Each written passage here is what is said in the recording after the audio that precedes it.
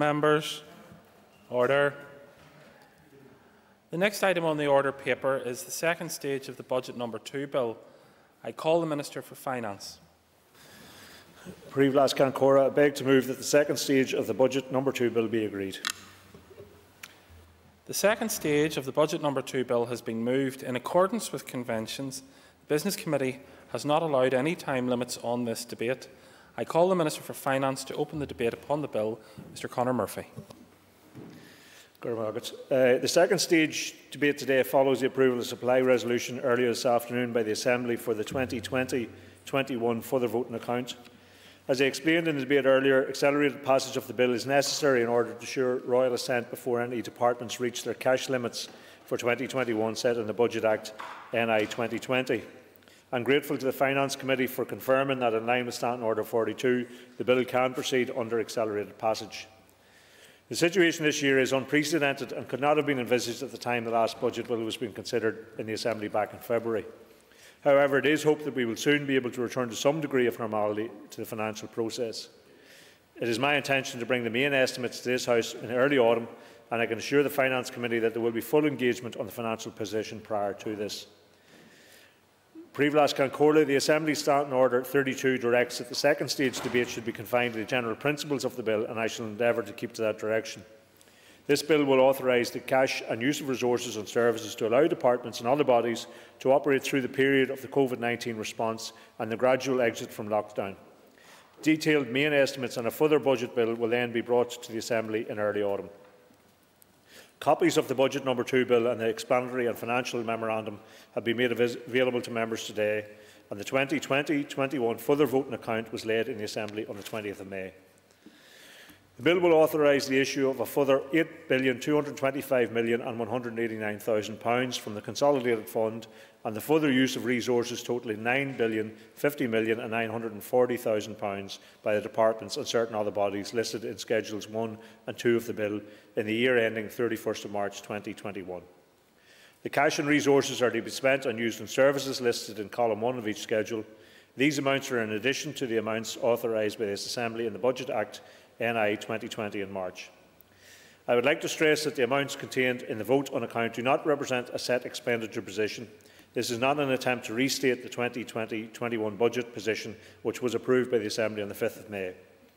As I said at that time, the budget could not contain the majority of the funding available for the COVID-19 response. Since, the executive has allocated since then, the Executive has allocated significant amounts to support our health service, the economy and vulnerable people. This vote on account is essential to allow departments to spend that money. It's based on a percentage of each department's 2019-20 provision and that percentage has been calculated to reflect their likely cash and resource requirements in 2020-21, including the impact of COVID-19. It will extend the existing 45% vote on account provided in the Budget Act NI 2020 to a much greater level. This will ensure that all departments have sufficient cash to continue to provide services until the end of October. In normal circumstances, a vote on account would apply a uniform percentage on the previous year's position, provision to all departments. That is not possible under the current circumstances. The COVID-19 response has not impacted all departments in the same way. The additional allocations made by the Executive have been targeted at the highest priority measures. The measures fall to a number of departments to deliver. The Executive has responded quickly and flexibly to the COVID-19 emergency, and I announced further allocations as recently as last Tuesday, the 19th of May. Clause 2 of the bill provides for the temporary borrowing by my department of £4 billion £112,595,000. This is approximately half the sum authorised by Clause 1 for issue out of the Consolidated Fund. I must stress that, that Clause 2 does not provide for the issue of additional cash out of the Consolidated Fund or convey any additional spending power. It does enable my department to run an effective and efficient cash management scheme. The use of sole authority of the Budget Act was raised during the debate in the Budget Bill last March. When the department is making use of the sole authority of the Budget Act, it will highlight this fact by placing a note with a black box symbol in the corresponding estimate. Because the main estimate for 2021 will not be available until the autumn, I want to make the Assembly aware that a number of departments will be highlighting some functions which will be carried out in 2021 under the sole authority of the Budget Act. The Department for Agriculture, Environment and Rural Affairs will be undertaking expenditure on coastal community fund projects. The Department for Communities will be undertaking expenditure on welfare mitig reform mitigation. The Department for the Economy will be undertaking expenditure in support of HMS Caroline as a visitor attraction and also supporting the work of NI Screen. The Executive Office will be undertaking expenditure relating to the Commissioner for Survivors of Institutional Childhood Abuse within the Historical Institutional Abuse Act 2019 on the implementation of the Hart Report and on good relations. Details of all functions carried out in the 2020-21 under the sole authority of the Budget Act will be highlighted with, it, with black boxes in the normal way in the notes to the 2020-21 main estimates when they are brought to the Assembly in the autumn. Mr Speaker, this legislation is required to ensure that public services can continue to be delivered during this COVID-19 response period as we begin to emerge from the lockdown. It will ensure that we can continue to support the health service, businesses and vulnerable people, and I am happy to deal with any points of principle or detail of the budget bill that members may wish to raise. I beg to move. Thank you, Minister. I call the Chair of the Finance Committee, Steve Aiken. Uh, Thank you very much indeed, Mr Deputy Principal Speaker. And right from the beginning, can I declare an interest?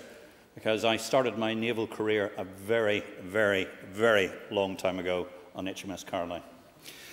Mr Deputy uh, Speaker, as we have heard, the budget bill before us today provides further statutory authority for expenditure as set out in the vote on account, which allows departments to incur expenditure in response to the COVID-19 pandemic until the main estimates are voted on by the Assembly later in the year. Standing Order 42.2 states that accelerated passage may be granted for a budget bill, provided that the Committee for Finance is satisfied that has been appropriately consulted on the public expenditure proposals contained in the bill. At its meeting on the 20th of May, departmental officials provided oral evidence to the committee and answered questions on the budget bill being debated today including on issues relating to a number of departments. As I pointed out in the debate earlier, the scale of the cumulative changes re resulting from our response to the pandemic have been significant, which is why it is necessary for the bill to pass swiftly to eradicate the risks of departments running out of money at such a critical time. We are all operating under circumstances that are out of the ordinary, and this requires us to undertake our work with a degree of flexibility to support the aims that we need to achieve. The committee certainly is cognisant of this need and welcomes the engagement that it has had from the department thus far.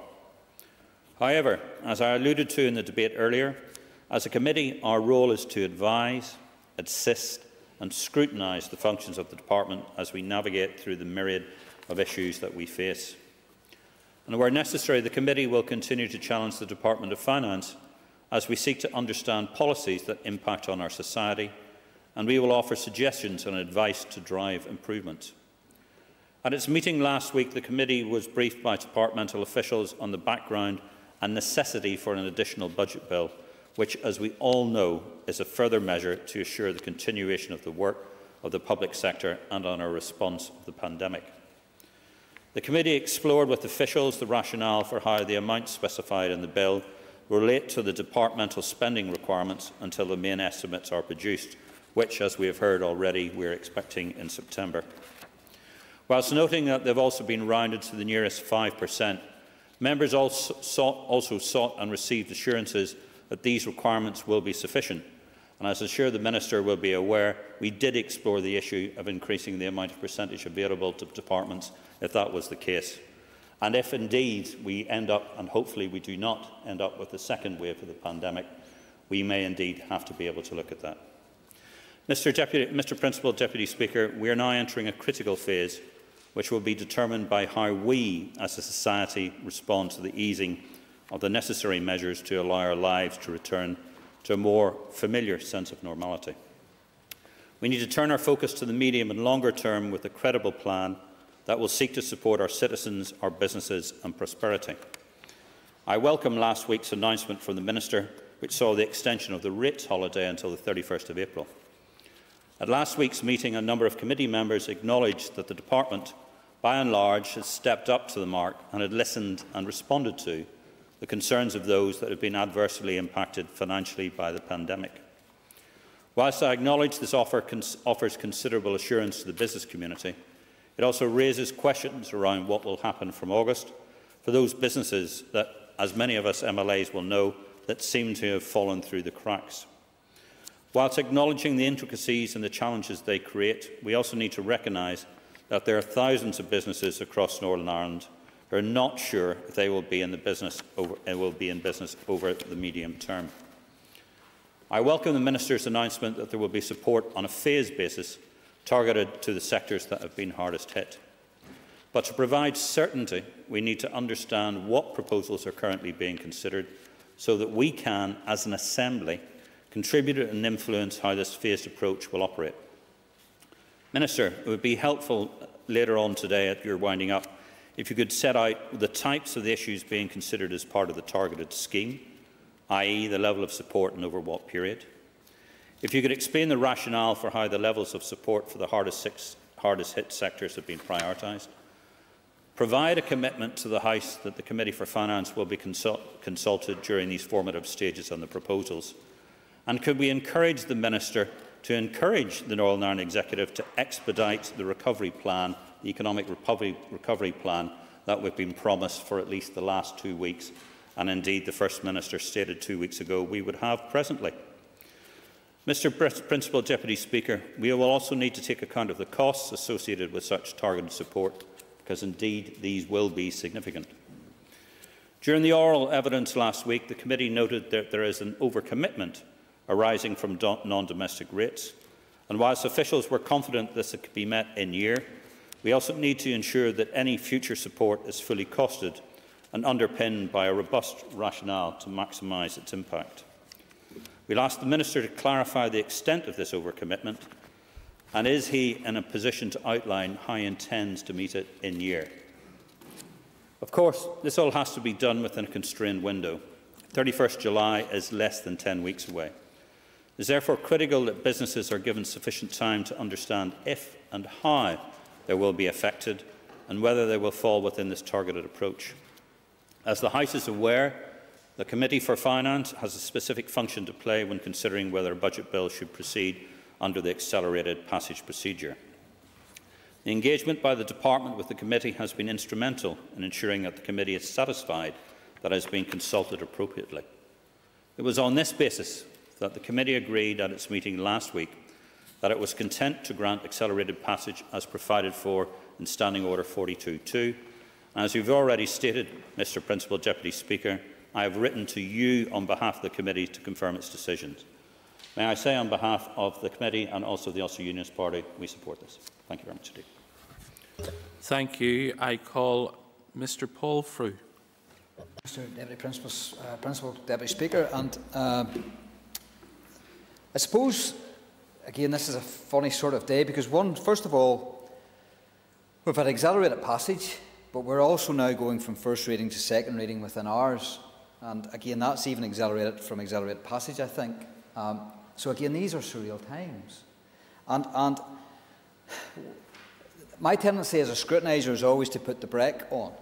And of course, I, I realise that in order for me to put the brake on, it's for me to try and get my head around the figures and to scrutinise and try and do the best job I can in scrutinising the figures. And I know that's not possible uh, because of the, the emergency we're in and because of the fact that we need to get money down quickly. So I understand the procedure we're now in. I don't like it, I understand it. And we're, of course, uh, prepared to accept it simply because it's a necessity. But I really do worry. I really do worry about the level of scrutiny that this chamber and then the committees can give with regards to the budgetary settlements to our departments and then the spends within our departments. Because whilst we should be looking at a main estimates booklet very, very soon, what we have here is a loose number of pages that gives us headline figures of what each department is going to get. And we don't see any real detail of um, or scrutiny of what the actual in-depth departments are. Now, some committees will have that. Uh, the Finance Committee members may have a bit more latitude with regards to delving into the figures. But really, to do our job properly in this forum, in this assembly, we need to have as much oversight, as much of a panoramic view as possible. And it's just not possible to have that at this time. And that really, really worries me. We should be having debates in this place around aligning a budget with a programme for government. But we aren't. We can't. And that really worries me and concerns me. We, we forget about COVID 19 for one wee second, please. Some of our public finances are in a very bad place. When you hear about infrastructure, road network, water and sewage plants, holding up development of houses and homes for our people, these are big ticket issues that will tax the most experienced of assemblies and governments. And yet, we haven't even got to grips with any of that. We can't even get, we can't even lift our head up to get to grips with any of that because we're still dealing with COVID 19 emergency. So I fear for the future with regards to what this place can achieve in trying to ask, to answer the big ticket questions for society going forward. That really worries me. But what also worries me is the level of detail that's still getting down to our committees. It strikes me that our, our last line of defence is the committee structure. And the people on those committees that are there to get right down into the detail of their particular departments. And they can only do that by the information that they have received from their department. And that really, really concerns me because I don't believe that that information, some departments are better than others, but not all departments are giving that information out. I suppose have the blessing that I sit on the Department of, or the Committee of Finance, which gives me a bit of an overall umbrella approach, panoramic view. But I also sit on the Justice Committee. Now, the members who would have been in the chamber the last time when the chairman of the Justice Committee raised points in a very robust manner, but very timely manner, and a very right and appropriate manner, to the concerns that he had around the Justice Department giving information to the Justice Committee. It's deeply disturbing and totally unacceptable that the department failed to provide information on a range of high profile matters categorised as other significant pressures, particularly given no other department left pressures uncosted in the templates completed for their respective committees. Most people won't know this, maybe, but the, the Committee of Finance, through the RAISE programme office, pushed through a template a uniform document to all committees to get answers off their departments. And it's the way to go. It is the way to make sure we get consistent information down to our committees so that we can look at these things in a comparative view. It's a very, very good exercise, and I believe, I believe in it. Because what it has done already is shine, up, shine a light into the information that departments aren't giving us, and that's the Department of Justice in this case. And I have been aware of this because I sit on the two committees. The Justice Department had submitted responses to information requests from the Department of Finance and had provided details of costs identified across the justice system.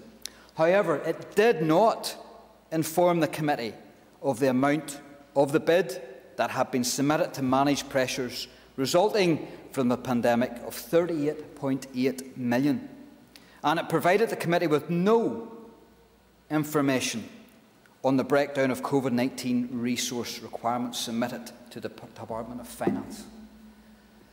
Mr Deputy Principal Speaker, that is unacceptable in this day and age when we have come back to this place, when we cannot have business as usual, when we can have no hidden things in this place. It is totally and utterly unacceptable that the departments would hold that information from committees the very scrutiny committees that are there and designed to assist the Department and the Minister. It is unacceptable that we would not have sight of that. The details of the 38.8 million was instead received by the Committee of Finance, where I sit. Who had been provided it from the Department of Finance. The details highlight the inclusion of an estimated pressure of 0.9 million in relation to a legal aid COVID 19 interim payment scheme. Now, we're not talking about big money, but that's not the point. It's not 0.9 million, it may as well be 9 million, it may as well be 90 million. It's the fact that the Department did not give this information to the Committee for Justice. This is, in fact, a direct contradiction to the information that had been provided to the Committee in the Department's policy paper on the payment scheme. That paper advised that the costs associated with the scheme would be administered from the existing legal aid budget and gave no indication that a bid for this pressure had been submitted. Here we have a minister and a department who, granted, has to think quickly because it is a COVID 19 issue, not even thinking it right to give the committee that information or being blase at the least for it. And isn't it good that we've had the structure whereby the Department of Finance gives that information to the, the, the Committee for Finance, which then can be through back to the Committee of Justice? But that's a very convoluted way of doing business, Mr Deputy Speaker, and it's a way I do not like. And I, I believe that this is the one case that I've picked up. There are probably many others that members will have to pick up in their own departments. But this needs to be shown light on, and this needs to be taken further. Because we have to get to a place where we, as individual MLAs, are treated with respect. In this House, this Assembly is treated with respect. And if we're not getting the information we require, then that is not treating committees and members, MLAs, with respect. It's in fact treating them with disdain. And that cannot happen. That has to be completely moved, removed from this place. No more going back, no more business as usual. This is a different place we're in. This is a, a place of decisionism. So let's see those decisions playing out and let's get full scrutiny of it. I, I'll move on, Minister or Principal Deputy Speaker, to the, the point I made earlier. And I, forgive me, please, because I, I, I need to ask the Minister about this again. And maybe it's my mind, maybe it's just the way I work. But the Minister in the previous debate on the vote of account said that the utility regulator for Northern Ireland had received 90% of funding for this year. And I'm not saying that's wrong. What I'm saying is I can't see that. I can't see that in any of this, these, this detail. And maybe I'm looking at them wrong. Maybe I'm looking at the figures wrong. But what I do see is I see two schedules. I two, two, two schedules on, a, on the budget bill, and not once does it mention the Northern Ireland Utility Regulator. And I think that's because they're not getting any more money in this vote on account. I could be wrong. I'm putting it out there. Uh, but what I do see is that I see in the first in, in the vote of account in the first resources table one, I think that utility regulator has only received 45% of their yearly spend. And I think they're still out with some £144,000, having received £119,000. And then on the second table, which is cash, we're talking about a figure of 1.3 million, which they have received 333, sorry, 330,000. Now, if my math's right, that's about 25%. Now, I'm not saying the utility regulator needs more money. What, I, what I'm saying is, why wouldn't we give the utility regulator, and it's the only body that doesn't receive money, and it's the only body that's not mentioned on the face of the bill. I'm saying if we're allowing latitude for the Food Standard Agency, the Northern Ireland Assembly Commission, the Northern Ireland Audit Office, they don't, they don't even need money for COVID 19. But they're, they're being allowed to get more of their money through the vote of account, like the departments are. But the only department, the only office that's not is the Northern Ireland uh, Utility Regulator. And I know it's funded differently, and none of those bodies that I listed are funded identical or are the same bodies or do the same work. It just seems strange to me that you wouldn't afford utility regulator all of that money in case they need it before main estimates come in September. Now, the Minister stated earlier that they have received 90%. That could be the case. I just can't see it in either the bill or the vote on account. And I would really like the Minister to go over it one more time for me. I might be wrong. I certainly don't understand it, and I would like him to clarify that position for me. But we've heard today, as we hear every day we talk about budgets, we hear about the pressures. We hear about the pressures on our system, we hear about pressures on our infrastructure, our communities, our education, our health system. And we could hear, if we were to list up all the pressures and all the wants and needs and requirements, we could probably spend our budget four times over. But we can't because there's not enough money there. So, what I want to see also is not only the money that we need to spend, but the money that we're going to save. This is not the time to push forward with projects that ministers may want. This is the time for necessity. This is the time for hard knuckle maths to get us back down to necessity, to make sure that the money that's spent from this executive caters for all of our people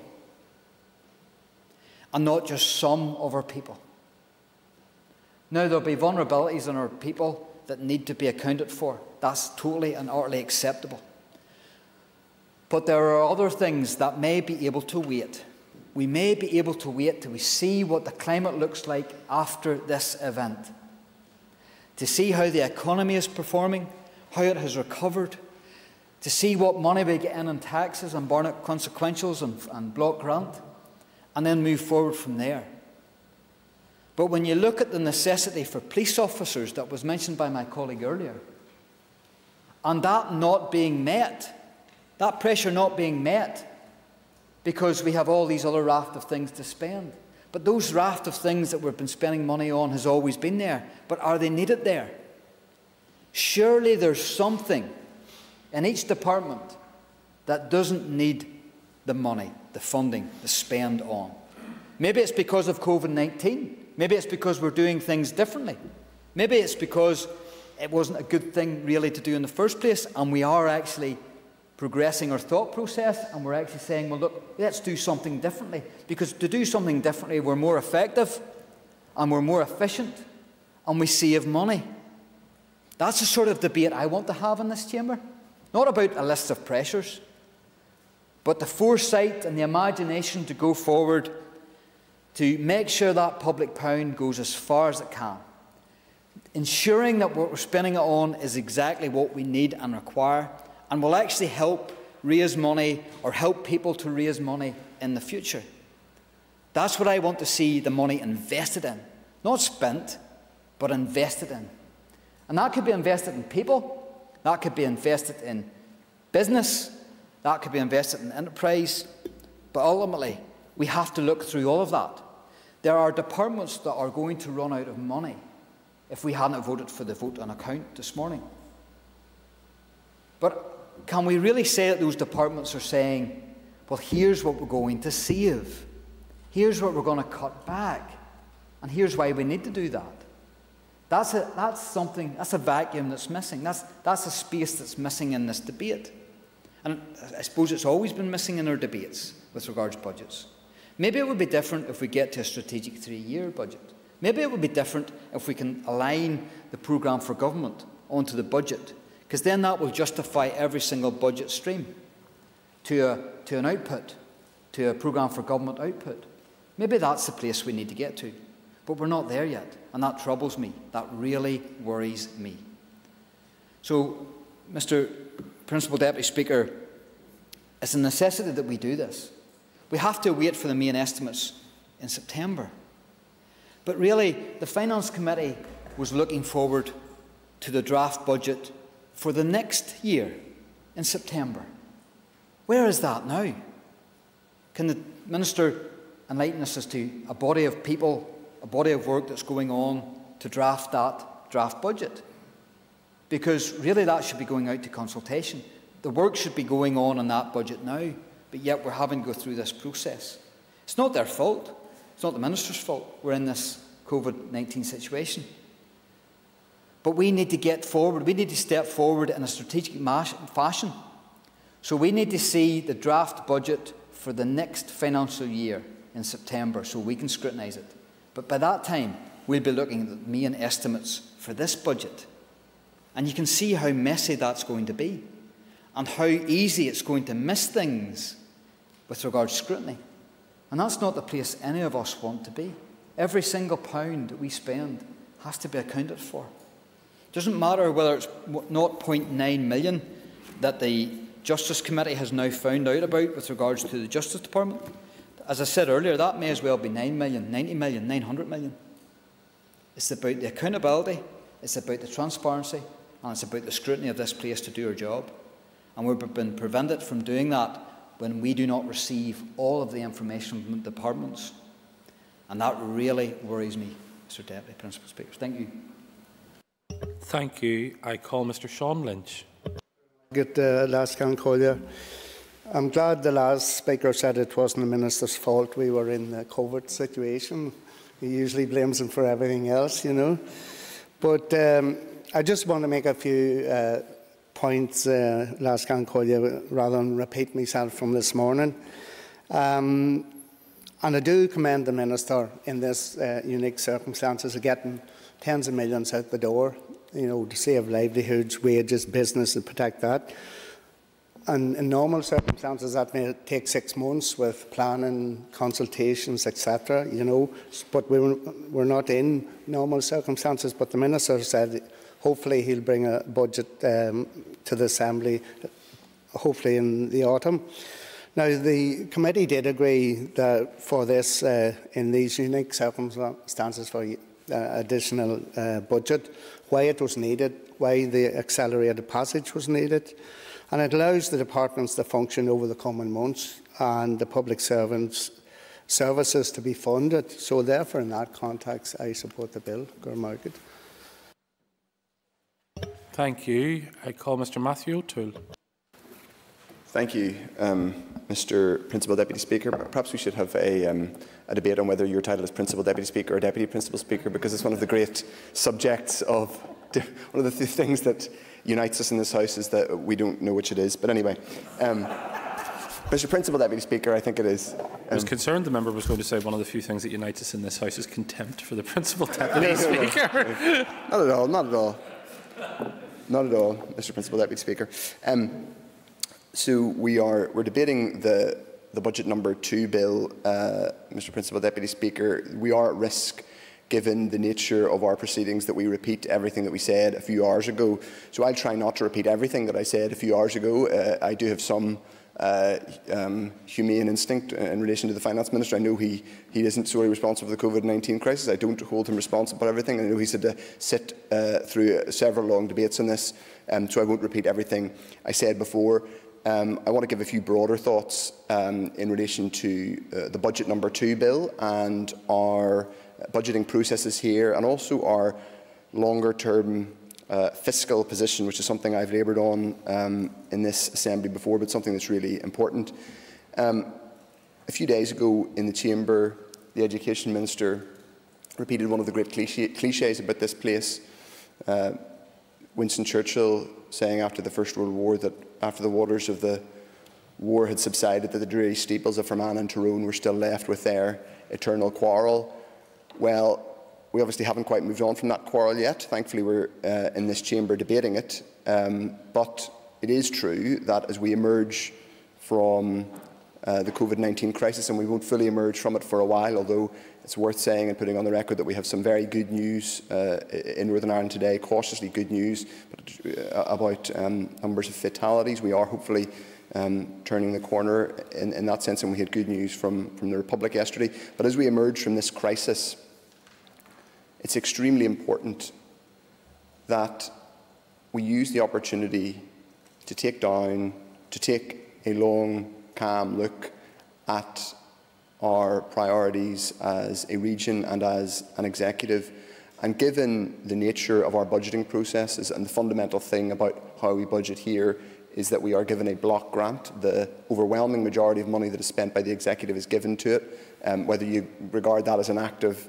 um, beneficence and generosity or something that it's a product of um, uh, Northern Ireland taxpayers contributing to the Exchequer. That's how we're funded. So the primary strategic tool we have as an executive and as an assembly is the disbursement of money, which is what the, the finance minister is here talking to us today about. That's why it's completely critical that that budgeting process is linked into, as my the, previous, the preceding speaker Paul Frew mentioned, a set of programme for government um, targets.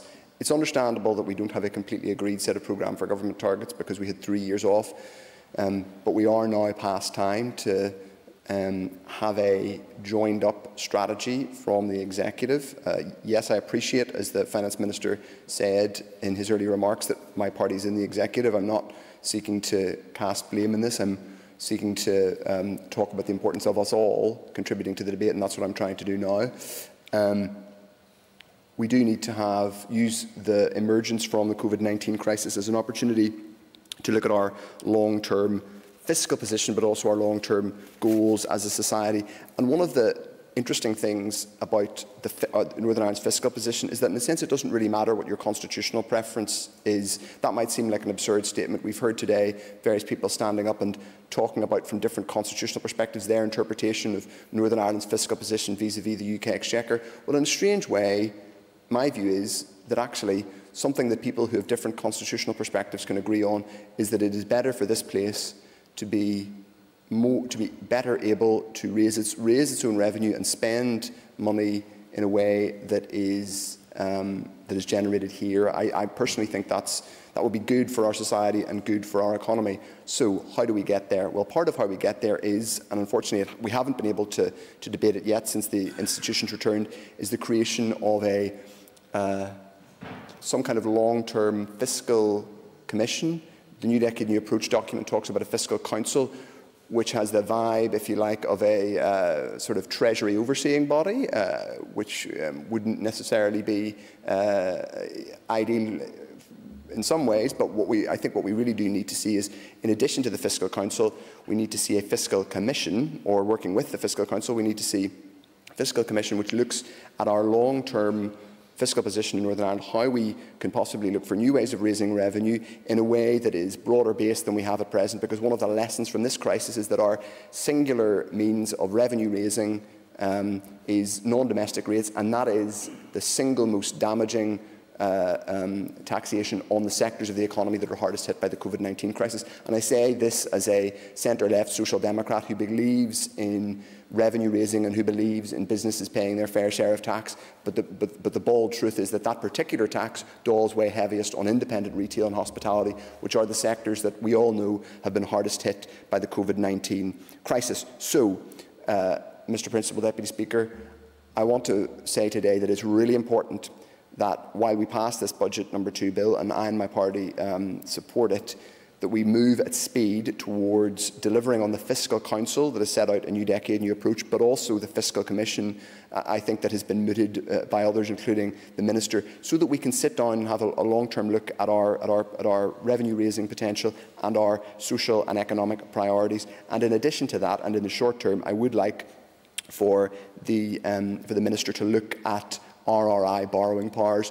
I think there are long-term structural challenges that have gone on for a long time in our economy that we haven't uh, had a chance to address. We're going to have to address them at some point. I hope that whenever the Economy Minister brings her plan forward, it addresses those in the context of COVID-19. Those include, but are not li limited to, long-term um, uh, structural issues with our productivity, um, low, a low skills base, the problem of outward immigration among our young people, to either to go to university or afterwards and then not coming back. We need to address those things.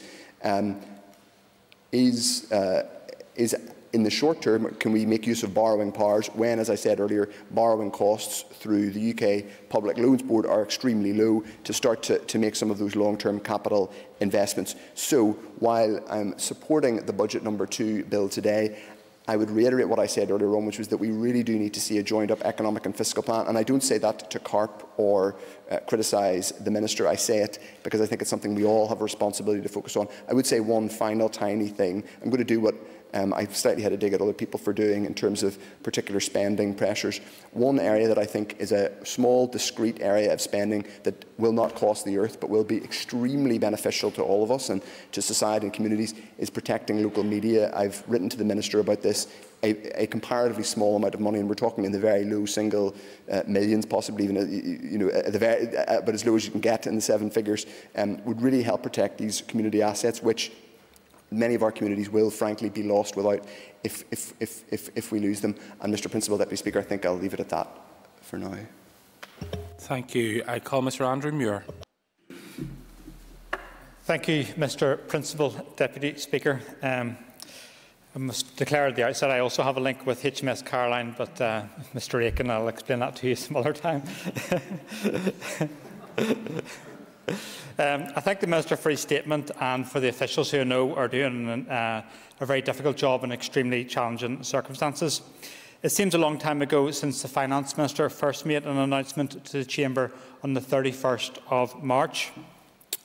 My party supports this budget. Uh, it's not perfect, but the fundamental role of a government is to set a budget, and we must step up to the challenge to enable continued delivery of public services.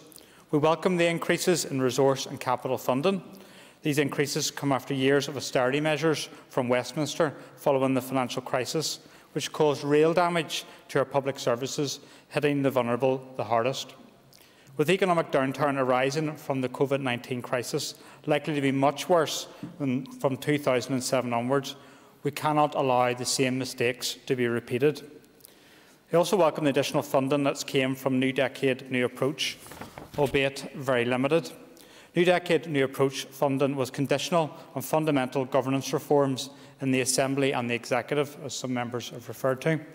The shortfalls were brutally laid out in the RHI report, which we de debated in this place just at the beginning of the COVID-19 crisis. All parties must remember that a failure to live up to the commitments and the spirit in New Decade New Approach could lead to re very real consequences for our people. Whilst I recognise the resource pressures upon officials in recent times, the establishment of the Fiscal Council, which Matthew O'Toole has referenced, must therefore be progressed, and I would appreciate an update from the Minister in the establishment of the Fiscal Council. Mr Principal Deputy Speaker, we're all very well aware that this budget has been totally overshadowed by COVID-19. I broadly support the financial decisions the Executive have taken thus far. There will be a point in time to examine the value for money around that. The PAC's uh, got business scheduled tomorrow in relation to that. But the, the measures which have been taken thus far have been taken uh, with, for good justification. I particularly support the package of targeted rates relief that was announced last week. However, there are still people and businesses for whom the Executive must do much more, such as, for example, sole traders, many of whom have been excluded from the recent grant measures. Turning to the year ahead, the ginormous financial challenges that we face are to a large degree beyond the Executive's control. The impact of COVID-19 pandemic has already led to over 26,000 people losing their jobs locally in Northern Ireland, taken from the recent unemployed claimant counts, compounded by the fact that I fear the worst is yet to come. Furthermore, as the UK Government seems unlikely to secure a trade deal with the EU, the potential consequences of no deal for Northern Ireland are severe. And today I've received correspondence from the Economy Minister saying that um, my department is very conscious of the potential for an increase in redundancies and has already put in arrangements in place to take into account the possibility of an increase in demand following EU exit. How anyone could sell EU exit as a benefit when we're getting correspondence about an increase in demand for redundancies is beyond me. There is, however, a number of important steps that the Executive can take as we face these deeply challenging and uncertain times.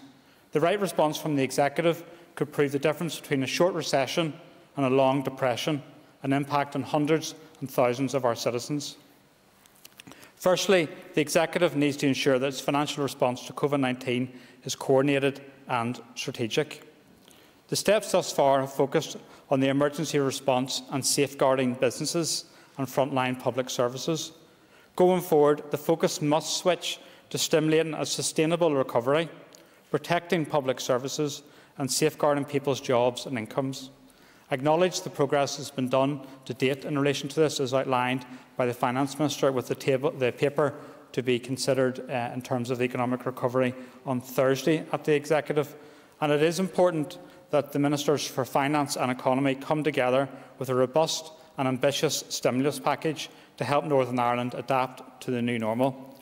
This should include the establishment of an economic task force, bringing together the strongest voices across government, business, trade unions and the third sector in supporting decision making, a social partnership approach to recovery. Policy interventions must target the most economically and socially significant sectors, providing reskilling, training and employment opportunities for our workforce should also be at the centre of this strategy, with a particular focus on young people who look set to be the worst hit by the economic consequences of the pandemic. Having the right strategy in place is one thing, Mr Principal Deputy Speaker. We also must ensure that we have the money to see it through. Money dedicated to saving businesses today will not be well spent if we cannot provide the support required to ensure that these businesses and their employees can adapt to the new normal. Additionally, Mr Principal Deputy Speaker, we need to ensure that capital projects that will be vital to stimulating our economy in both the short and long term can go ahead. Research from the University of Oxford has shown that green capital investments are the most effective, both in the short and long term, for a sustainable green recovery. At this point, I should declare I was previously a member of Ards and North Down Borough Council and an employee of TransLink. Existing infrastructure plans, such as the Belfast Transport Hub, investment in electric and hydrogen transport, the Belfast to Derry Londonderry railway line must therefore be pushed forward apace. Funding should also be made available for active travel, where the Executive is badly missing its own targets. The Executive must also have a list of shovel-ready projects that can be put to work as soon as funding is made available. Redirecting budgets from capital to resource should be the last, not the first course of action considered by government departments. While lobbying Westminster for additional funding is important, it should also make better use of its own borrowing powers, as Matthew O'Toole has outlined, none of which are currently planned, including also the utilisation of financial transactions capital, which I do note has been planned. Finally, again on infrastructure, Mr Principal Deputy Speaker, the Executive must push ahead with its own plans, reforms to procurement and learn the lessons set out in the Northern Ireland Audit Office's 2019 report on capital, major capital projects. We also must ensure that our planning system is fit for purpose. The average time taken by the Department for Infrastructure to determine a planning application of 260 weeks in 2018-19 just isn't acceptable, never mind the longest period of 556 weeks. The need to undertake the long-awaited strategic review of planning and to establish a regional infrastructure panel or commission to identify and rapidly progress the most significant long-term infrastructure projects is clear, alongside a new infrastructure plan informed by advice from the panel or commission. The other area where the Executive can make a difference is public sector reform. My party has for years called for the Executive to tackle the cost of division, where every penny that we waste could instead be better spent supporting citizens and communities. We cannot blame austerity for all our budgetary problems. Having seen how much we rely upon the NHS during this pandemic, we must push ahead with the reforms laid out in Bengoa. A patient-centred approach focused on systems, not structures, is vital. And when it comes to new working practices, remote and flexible working arrangements have become the standard through COVID-19.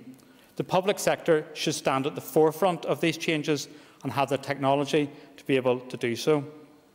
In closing, Mr Principal Deputy Speaker, it is to be welcomed that once again budgetary decisions that affect the people of Northern Ireland are being taken by local politicians who are accountable to them. The Executive has an immense responsibility to our community to steer, of, uh, steer our economy into the new normal and protect the health and livelihoods of our people. The budget and all our financial decisions should be centred on that goal. Thank you very much, Mr Principal Deputy Speaker. Thank you. I call Mr Jonathan Buckley. Thank you, Principal Deputy Speaker. Um, I think it's fair to say that in all of our deliberations on the budget bill and the supply resolution today has been riddled by two words, coronavirus. And it's in that light, Mr Principal Deputy Speaker, that I want to mark in the House that since the 18th of March, today has been the first day where we have no COVID-related confirmed deaths in Northern Ireland. There has been many dark days in this chamber, but this is a chink of light, hopefully, towards the end of a long, dark tunnel. I want to pay tribute to the many healthcare workers, both in the NHS and our care homes, and other health professionals and key workers that have helped achieve this goal today. We all in this House can bear testimony to the fact of what has actually happened over the course of this last few months and how we have sought to deal with the emergency of our lifetime. And it's with that said, I think that sets the context of what we're dealing with here today. Coronavirus has had a significant impact on this budget. We heard, and I listened in to the Finance Committee, and indeed other members have stated it, that if we do not act and act now, five departments will run out of money by July if further allocations are not given. That's stark statistics, but proves the point of where we are today and the reasons why. In February, after three years of silence this chamber, I had the ability to speak on a budget debate in my maiden speech. And I recall how I did so with optimism that after three years of inactivity, shameful inactivity, that this House was finally getting to grips with the issues that mattered to the Northern Ireland public, both unionist, nationalist and other. And I outlined in that contribution, namely health, education and the economy. All three issues which are indeed even an even worse state today and will be after this pandemic, given the significant uh, financial shortcomings that we've heard from the Minister and indeed the government departments. There has been, as has been mentioned by Mr Frew, there has been little chance for committees and this chamber to scrutinise these budget allocations. And I, I know where we are in terms of uh, the time process that this has to happen and has to happen urgently in order to get that money through the door to those that much need.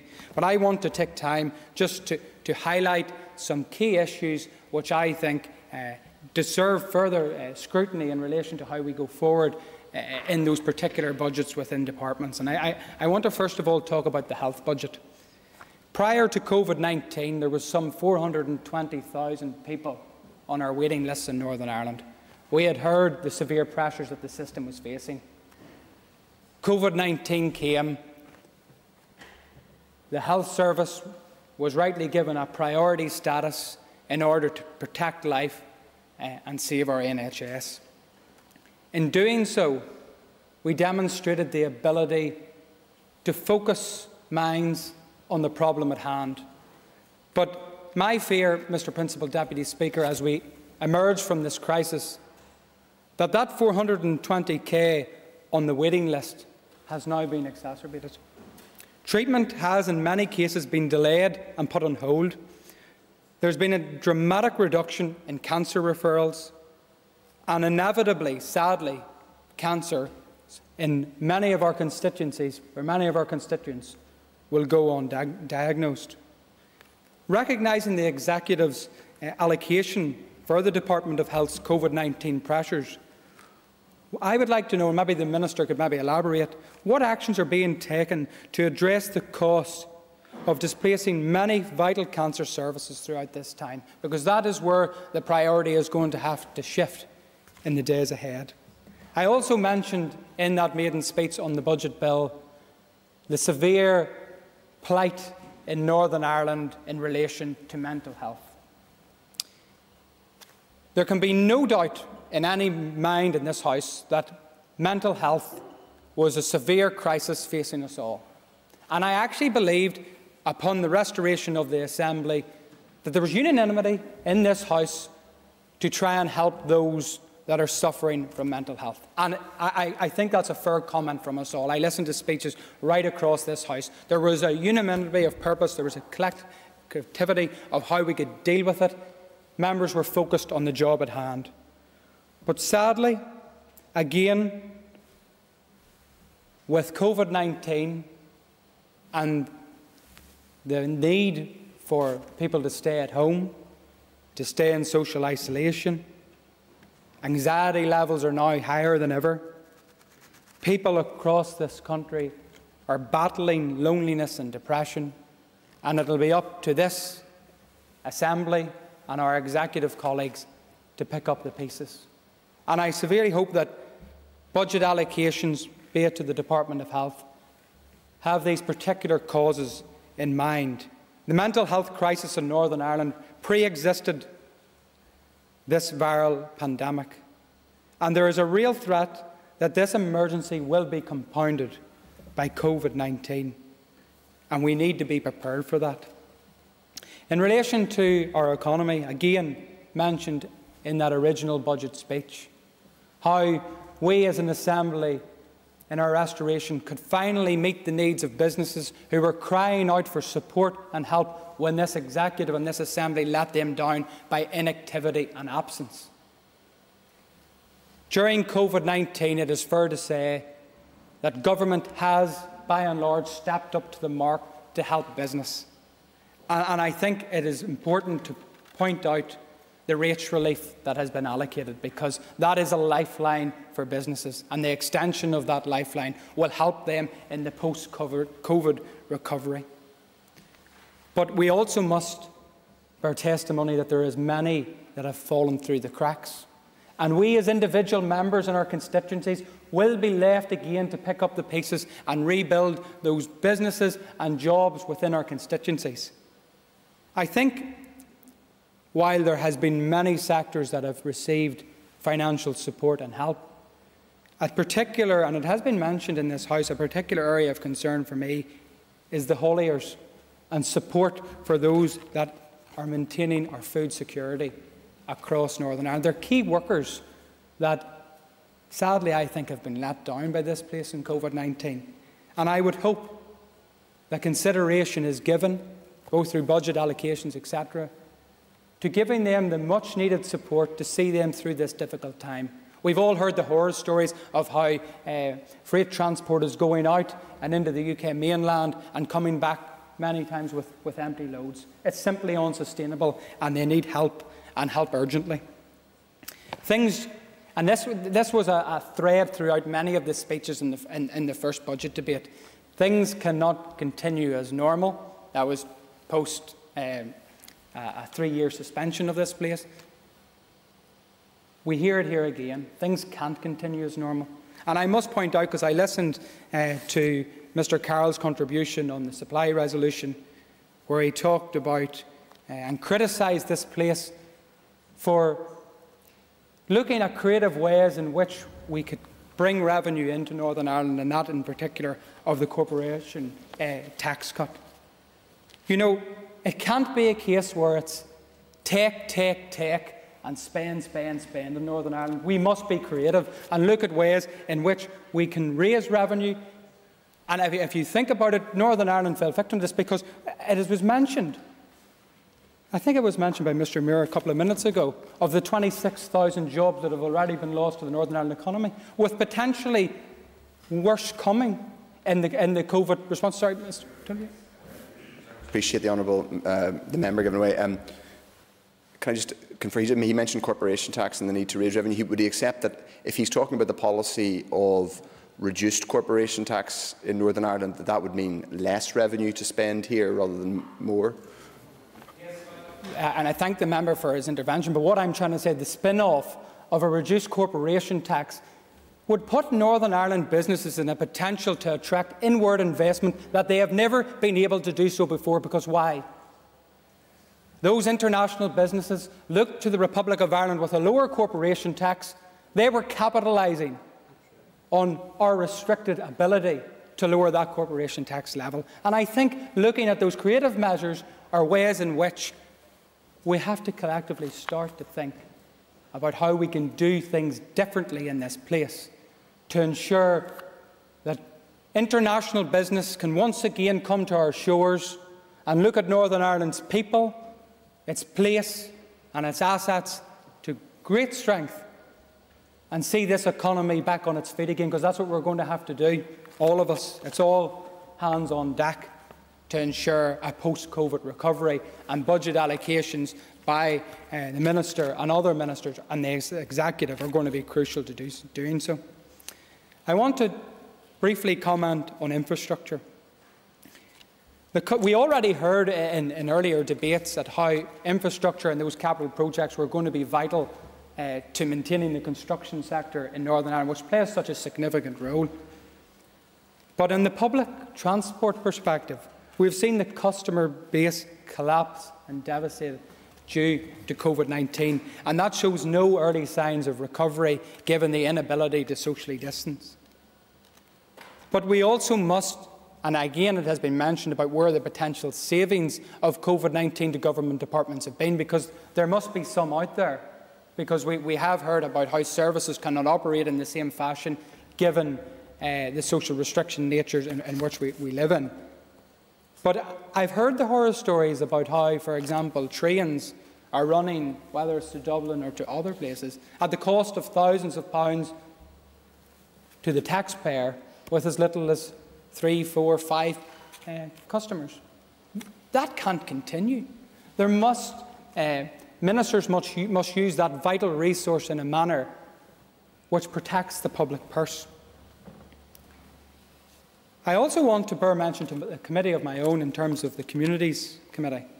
And we have seen over the course of COVID-19 how the Communities Committee has been, or the Communities Department has been able to uh, allocate resource to some constituents who are most in need throughout this pandemic. But again, there's shortcomings. And I look at the charity sector, for example, and with a, a funding allocated uh, via the budget for COVID-19 pressures and a rescue package for charities, there is many that miss the boat and will slip through the cracks that are performing a vital, uh, life-saving role within our communities at this time. And I think we need to look at about how we can better support them through it. In closing, uh, Mr Principal Deputy Speaker, I want to, to focus on an issue which I know many members have been uh, engaged on, and that's in relation to relief and support packages for sporting clubs. The Sporting Hardship Fund, which allocated some in the region of a maximum of £2,000 per club if, if awarded uh, to help fight COVID 19 and uh, the pressures that they were facing in their own particular sporting organisations, is a lifeline to keep many of those sporting clubs alive. And this is going to continue. And that can be across all sporting fraternities. And it's important that we, we, we do fight for an equality of treatment for all sporting clubs to ensure that they can access some form of funding. But my fear, and again it has been highlighted because it was closed within two days, is the funding allocated is simply not enough to meet the need that's out there. I would like this to be, to, and I, I have no doubt it will be enhanced or that it can be reported back to the Communities Minister that they can look at something like the Sports Hardship Fund, an allocation resource that can help save many clubs who face potentially uh, no return after the pandemic and given how long this may, this may last. In closing, Mr Principal Deputy Speaker, I believe our budget debate here today and indeed members' contributions must focus around one word and that of prioritisation. We've all mentioned it, and it's easy to get up and talk about individual hobby horses in this chamber when it comes to individual constituency projects.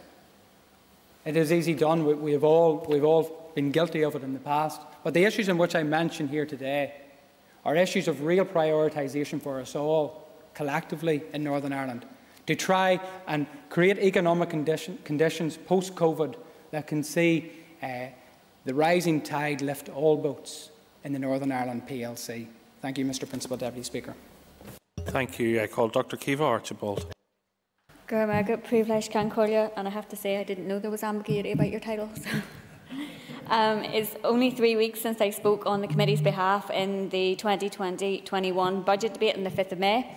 Um, and as so many members have said, and I suspect we'll be saying it for some time to come, we are living in exceptional times and can no longer apply the rule book to which we have referred for so long. The Economy Committee finds itself right at the heart of scrutinising measures put in place by the Economy Minister and her executive colleagues, including the Finance Minister.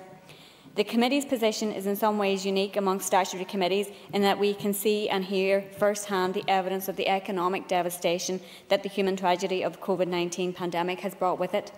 But members have also been heartened by the evidence that we have received from a range of bodies and organisations highlighting how in recovering and rebuilding our economy and society we can create new and better ways of doing things. The committee has been hugely impressed and deeply humbled that while organisations are coming to brief members um, on issues faced by their sectors, they are also designing and sharing visions of how we can move on and improve. There is very little in self-pity, which is a testament to the resilience and ingenuity of our people. The committee believes this newer, better way of doing things should reflect the lessons that we have learned from this terrible blight of COVID-19. We must rebuild in a way that respects our planet and makes better and safer use of our resources. That will mean investing in new green industries and jobs. It will mean building and capitalising on the local community efforts that have got us through this crisis. Localisation where possible, rather than globalisation at all costs, must guide us. Our communities have shown themselves to be resourceful and innovative. Businesses have been repurposed and social enterprise is clearly the way forward in so many sectors and for so many businesses. The committee understands that the budget envelope that the executive has at its disposal is finite. However, members have heard from so many stakeholders how we can and should pay it better and in a more sustainable way. The committee would advocate on behalf of its extensive stakeholder base that the executive applies this budget in a creative way. Privileged Concordia, the committee urges the executive to listen to the advice of the bodies, organisations and individuals who have the expertise to take our economy and society forward. Let us emerge from this dark time to a new economy where we take the lessons we have learned and budget accordingly. Budget scrutiny at this point remains difficult, as I said on the 5th of May. The committee re remains extremely supportive of the Department and Executive's COVID-19 response, and members will continue to advise both on gaps and issues as well as ideas and solutions going forward. The committee continues to stand ready to scrutinise the Department's budget as and when there is greater detail and certainty. It remains the committee's view that the Department for the Economy must have its budgetary needs prioritised. The committee looks forward to the outcome of the June monitoring round to better assess where the budget uh, position sits for the department. At the same time, the committee is continuing to consider the impact of Brexit and the impact of the protocol on the local economy. This still requires significant budgetary support. Um, and I'll, I'll make a few remarks now in my capacity as Sinn Féin, uh, Sinn Féin economy spokesperson. And like others, I'll try not to repeat myself and speak in more broad terms in relation to the budget because I think all of us recognise the difficulty in trying to finalise a budget in the current context. Our budget was obviously already under pressure prior to this unprecedented crisis, particularly after the British Government reneged on some of its financial commitments in the context of the New Decade New Approach Agreement. Those challenges remain, and we must all collectively continue to make the argument for investment in our public services. Public services that have been vital in the recent weeks and that have been stripped bare following a decade of austerity. The role of the essential workers who provide these public services must also be recognised and never again should we hear disgraceful talk of how some of these are low skilled. In the weeks ahead, as we plan for economic and societal recovery and allocate budgets to departments um, to support that, and I agree with Mr Muir's comments about them needing to be coordinated and strategic and of the collaborative approach that we must take, it's my belief that we must do this on a set of core principles enshrining workers' rights and reversing the trend of precarious work and zero hours contracts, building on the new ways of working that we've all had to adopt in a very short time. Remote and flexible working that can enhance work-life balance is more environmentally friendly by reducing commuting and promotes regional balance by having people in their own communities more often. This will obviously require investment in digital infrastructure and other infrastructure um, to support remote working. We must ensure decarbonisation is one of the core tenets of the recovery and that we build on the sectors that have been able to expand during this crisis as well as supporting other sectors to recover. Skills development obviously must be part of that. There were a number of progressive commitments and principles agreed to in the in New Decade New Approach Agreement, including directing resources on the basis of need and tackling regional imbalance, These must guide our investment in the, way for, in the time ahead. A Green New Deal was also committed to. Other members have referred to this as well. It would be shameful not to ensure that our recovery also addresses the climate and biodiversity crises. We must harness the potential of our island in investing in green skills development and infrastructure to tackle structural inequalities as well as the climate emergency. And we need to look at how we can address multiple priorities and strategic outcomes. The Minister himself has talked about how he has asked departments to look at their capital programmes. Government can certainly pay, play an important role in stimulating the construction sector and local economy through major capital bills. There are projects like Magee Medical School, Casement Park and others, as well as renewable energy projects that should be expedited. Conversations are already happening and concerns being expressed about how we're going to pay for this pandemic. It's a topic that governments around the world are grappling with. This is an extraordinary economic crisis brought about by a health emergency. It must have an extraordinary response. And one thing that's absolutely certain is that we cannot have a return to austerity in the aftermath of this. That would simply compound the disaster. Uh, one suggestion I had, and I've written to the British Chancellor on this, and perhaps the Minister could take it up also, is to tighten up tax loopholes so big companies and the super rich are paying their way. Many of these have benefited from the government's unprecedented interventions, so they should pay their way in the time ahead also. But those companies who benefited from this crisis with increased profits and share prices should be subject to a windfall tax, and the revenue generated can be directed to support our vital public services. Suddenly switching off the funding for interventions like the Job Retention Scheme will result in huge numbers of redundancies and will quite simply mean the interventions to date have been in vain. Further financial and fiscal stimulus is the only way to bring about an economic recovery in the shorter rather than longer term. The British Government must recognise this, and we collectively, as an Executive and Assembly, together with civic society, business organisations, academia, community and voluntary trade unions, must make the case for the type of support our local economy needs. We must continue to look at how um, we as an island can recover by investing in and supporting our local supply chains.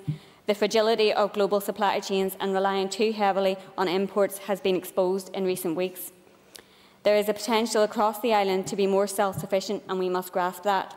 We've seen how quickly some businesses have repurposed to produce vital PPE, for example, and they must be commended for those efforts. We must support other businesses to be innovative also. I, I, agree with um, Mr O'Toole's comments, and I, I, always agree when he makes the point in relation to the, the, fiscal powers. I believe we should be continuing to argue for devolution of further fiscal powers. I know the, the Finance Minister has, has talked before about setting up a commission. I think this is something that should be factored into our recovery plans. In bringing my comments to a close, as economy spokesperson, I can't but mention the huge concern that remains on our immediate horizon, and that's Brexit and the negotiations that are continuing.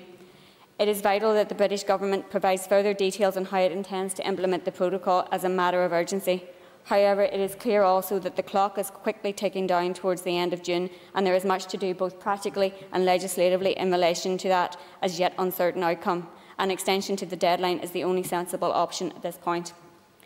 This pandemic and our experience of it, and let's face it, it has changed all of us individually and as a society. These experiences must shape our economy and society for the better, building on our resilience and solidarity as a community. I support the bill. Gurmugit. Mr Gordon Dunne. Thank you, Mr Principal Deputy Speaker, and I too welcome the opportunity to speak on the second stage of the budget bill here today, which no doubt uh, has been incredible and challenging times for us all.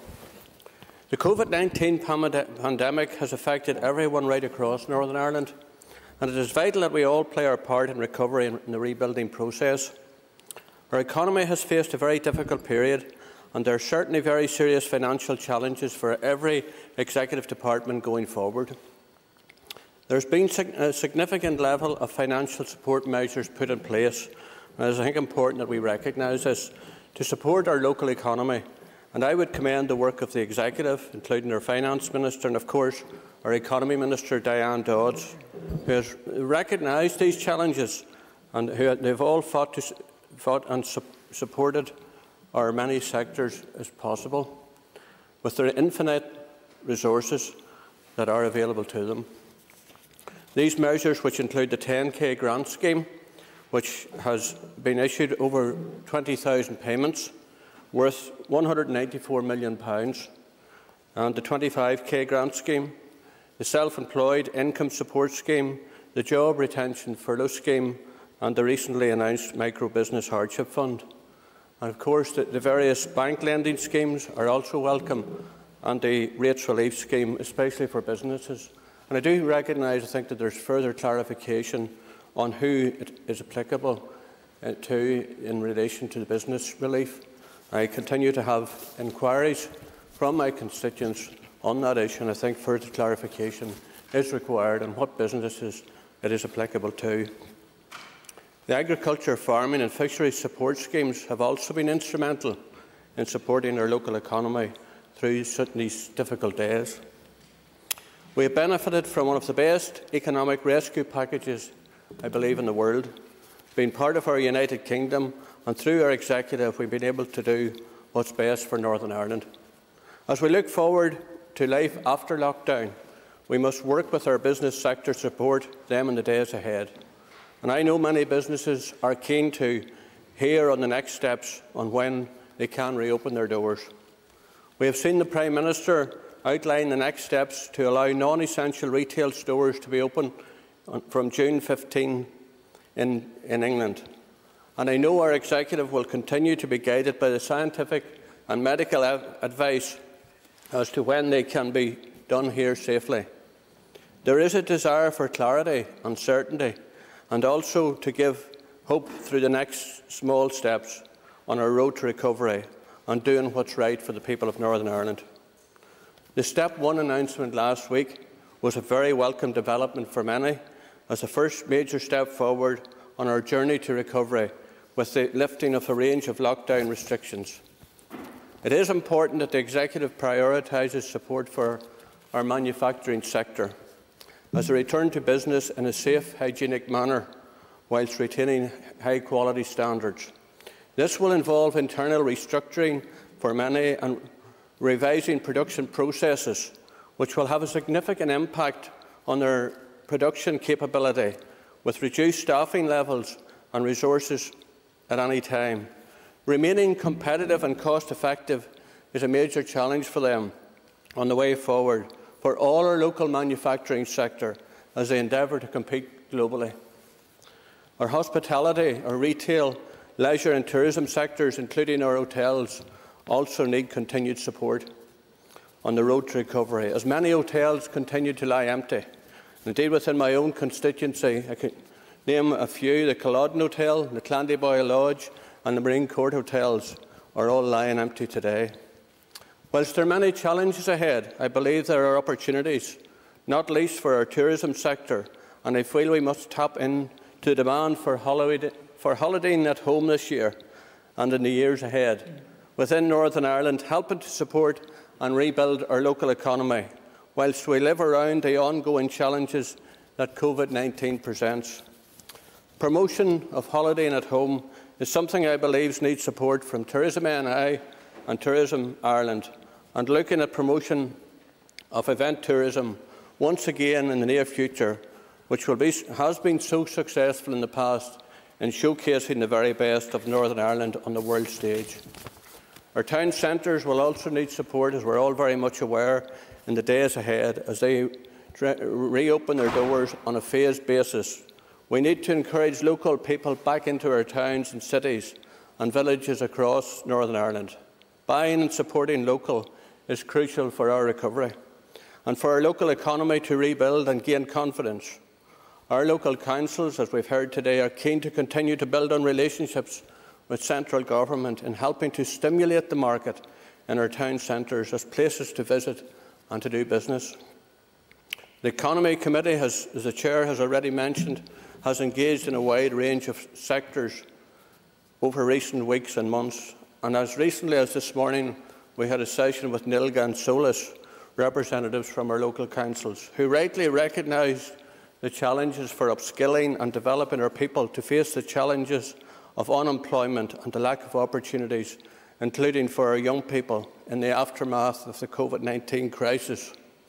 We also recognise the need for support for our universities and our colleges going forward, which is vital as we want to retain uh, the young people, our skilled and ambitious young people the, for the future.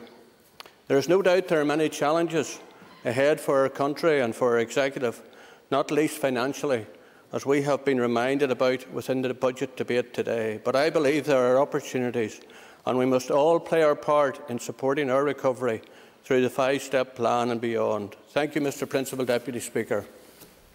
Thank you. I call Mr Colm Gildernew. Prior last Cancorlia, agus Boychla Makakla Fakal Ara. Um, I just want to say a few words and, and I don't propose to repeat my remarks from earlier. Um, and I do want to, uh, just before I start out, just uh, declare an interest in relation to my own role previously as a social worker and uh, still on a career break from that, and also my wife being a, a nurse in the community. And I found the debate today very interesting in terms of, of the, uh, the very often the reference to austerity, and I think that never has the, the, the saying that austerity cost lives been writ so large as it is at this particular time. Um, and in relation to remarks earlier that we should be grateful somehow to, to what we received from across the water and things like that, I want to bring members' minds back to the start of this pandemic. And as we watched this coming across the globe towards us, we saw it in Japan. Um, Italy had its first two cases on the 31st of January. We recorded our first case here on the 27th of February. And at that time, the pandemic stockpiles of PPE were held across the water. And from the 27th of February to the 6th of April, we didn't receive a single piece of PPE. Six weeks. And during that six weeks, I'm sure every member of this House, like me, took numerous and multiple calls from terrified care workers and domiciliary care workers and nurses who were afraid, literally, for their lives, for their families' lives and health, and for their, their, their patients' lives. And we all know what that was like at that particular time. And that was as a result of the public health preparedness being stripped out of the system because of austerity. Stockpiles in England were allowed to become depleted uh, times were allowed to expire on many of the important items, and whenever they were needed, they weren't simply there. On top of that, the testing infrastructure that was once here and was once across many Euro European nations was totally stripped down. We had the capacity to do 40 tests a day here when the pandemic hit. We had totally dismantled our contact tracing systems. Our public health doctor systems throughout the north had been reduced and diminished. And that has all had an impact and I think it's vital that we recognise that. And when we hear today that we should be uh, removing blinkers, I actually agree with that statement, but probably for, for a different reason. Because I think we need to remove the blinkers of austerity to provide proper public health and social care for all our people. We need to support and value our frontline staff right across the board and across all grades, including domiciliary care. I will. I Thank the member for giving way. I respect his, uh, his ability to do so. Does the member through the chair, does the member not realise that, let's say, if it wasn't for austerity, that money would actually be spent on PPE? Would money actually be spent on ventilators? Because that would have been a political policy direction, a decision that would have to be made. And the member opposite, like his party, talks and echoes all the time about Tory austerity, but never once do they mention the terrorist campaign that raged here for 30 odd years?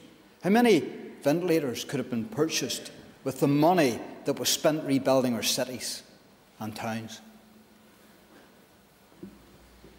The member will recognise that that had absolutely no impact on the fact that we had 2,800 nurses short here in our system whenever this pandemic hit, along with all those other items that I have mentioned. So, we need to start properly supporting and valuing what we now recognise as our actual real essential workers. Domiciliary care workers, porters, receptionists, social workers, nurses, doctors, all throughout the entire system. We need to tackle health inequalities and poor mental health. We absolutely must transform the health service and reform adult social care, and we need to provide proper support for our invaluable and indispensable and are absolutely hard pressed and overworked informal carers who have picked up once again much of the burden of this emergency. So, in short, we need to work together here to provide proper public services and resources to care for all our people, to prosper as an economy, and to prepare for future public health crisis which reflects our needs here on this island. I support the bill. Thank you. I call Ms Sinead McLaughlin. Thank you, Mr Principal Deputy Speaker. As I mentioned in previous budget debates, um, it has been absolutely impossible to ad adequately scrutinise this budget as we are trying to do so in the evolving crisis. And Minister, I would concur with your assessment that the current budget process has not been ideal. And I also agree, with the previous speakers that we need to get to a place where we can align long-term uh, budgets with a well thought out, coherent programme for government that is people-based and place-based and that drives prosperity but also social well-being uh, and we look at, at, at sub-regional targets. Um, it's very hard to kind of have a, a, new speech when we've done so many on these budgets where we're continually repeating ourselves, to be honest. But um, I suppose politicians are used to doing that quite regularly. but um, this morning, one important news story was largely overlooked. Amidst the whole anger over uh, Dominic Cummings' refusal to resign, but it was a story that for businesses here and workers here in Northern Ireland that was much more important. The British Government is nowhere near ready in the training of 50,000 new custom agents needed to deal with Brexit. Can I remind the Chamber that we are little more than half a year away from this really biting point of Brexit, just over 240 days? The Prime Minister may have boasted about getting Brexit done, but the real impact will hit Northern Ireland at the end of December when the trans transition period comes to an end. Of course, the Prime Minister could decide to extend that transition period, and that is what he should do. But just as he won't sack Dominic Cummings, he, he, says he absolutely will not extend the Brexit transition period, despite this being the obvious and sensible thing to do. So we in the North the region most affected by Brexit remain unclear about what customs arrangements will be in place. But it does seem that there won't be enough trained custom agents to help us to know about them, whatever they are. While COVID-19 is in the immediate term a complete disaster for the economy, we should not overlook the reality of Brexit over the longer term. This is likely to be a complete disaster for our economy. What makes it worse is that with just a few months to go, we in the region most affected have know so little about what comes next. Absolutely disgraceful. And it is almost as if Downing Street cares little about Northern Ireland, whatever the Prime Minister has said on private visits here in the past. But we do have one certainty, though, which is that the UK will have to focus more on growing our own talent and skills, relying less on migrants coming here to work. So we will have to invest more in skills and in training, and that be, must be one of our investment priorities. Which brings me to the subject closest to my heart and very closest to the interests uh, of the people in my Foyle constituency, and that is the Magee Medical School. I met virtually, of course, yesterday with senior members of uh, the representatives from Ulster University. I left the meeting with the sense that they were as in the dark of what happens now regarding progressing the business case for the medical school as we are in Northern Ireland about the new customer arrangements about Brexit after Brexit. Deputy Speaker, we need to know what is going on. We need more detail and we need greater transparency. That applies to the British Government's plan for Brexit, but it also applies to the plans of our own government, the Executive Office and the senior officials when it comes to the Magee Medical School. The medical school is due to open its doors in September 2021 and I, like every other elected rep and, and, everybody in the city, was delighted at the announcement. But there's a lot of work that needs to be done for this to take place and it needs to be done very quickly and with a sense of urgency and I urge the Joint First Ministers to proceed at pace. I also will support the second stage of this budget. Thank you. I call Mrs Karen Mullan.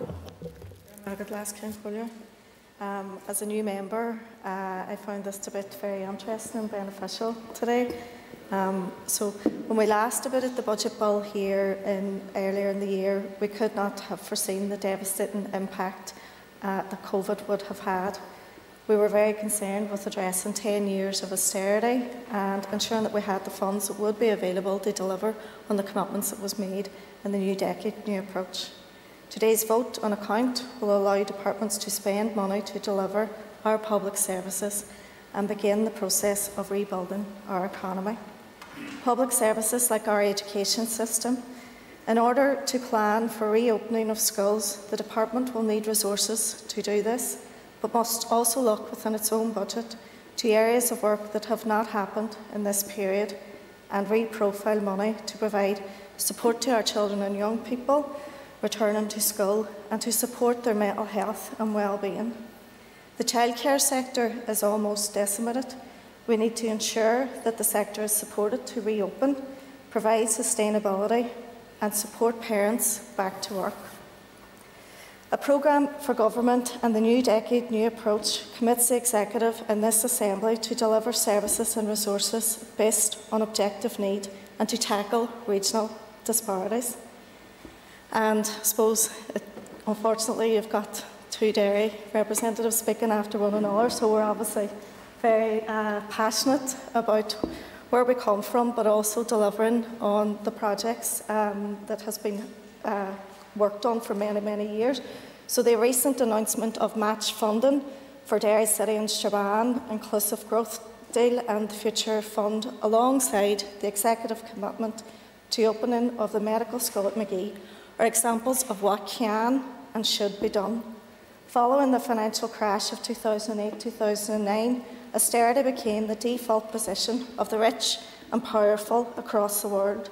Working class people bore, bore the burden while bankers and speculators walked away. When we emerge out of COVID 19 health and financial crisis, we cannot return to the default position of austerity and heap the cost on the poor and low paid. Poverty is not a fact of life, and there should not be an acceptable level of poverty. We have it in our gift to put the eradication of poverty at the heart of everything we do here. In supporting of the Budget Bill Area 2, and as I stated earlier, the past 10 weeks we have had to learn to adapt and work together. So let's carry that forward and look to do things differently that ensures we protect workers and families. Thank you. Thank you. I call Mr John Blair. Thank you, uh, Principal Deputy Speaker, and, and, may I begin by adding uh, my thanks to that expressed previously uh, to the Minister and to his officials for the work uh, done in, in, recent weeks in response to a major crisis.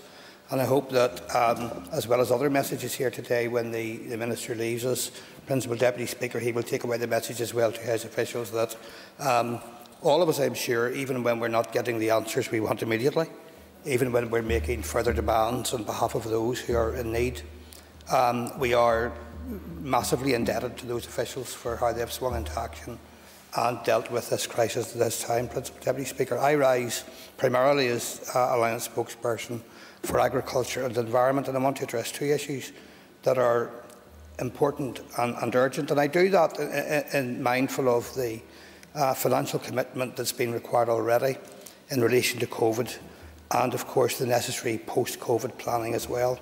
But there are urgent issues, and I'm going to highlight two of them.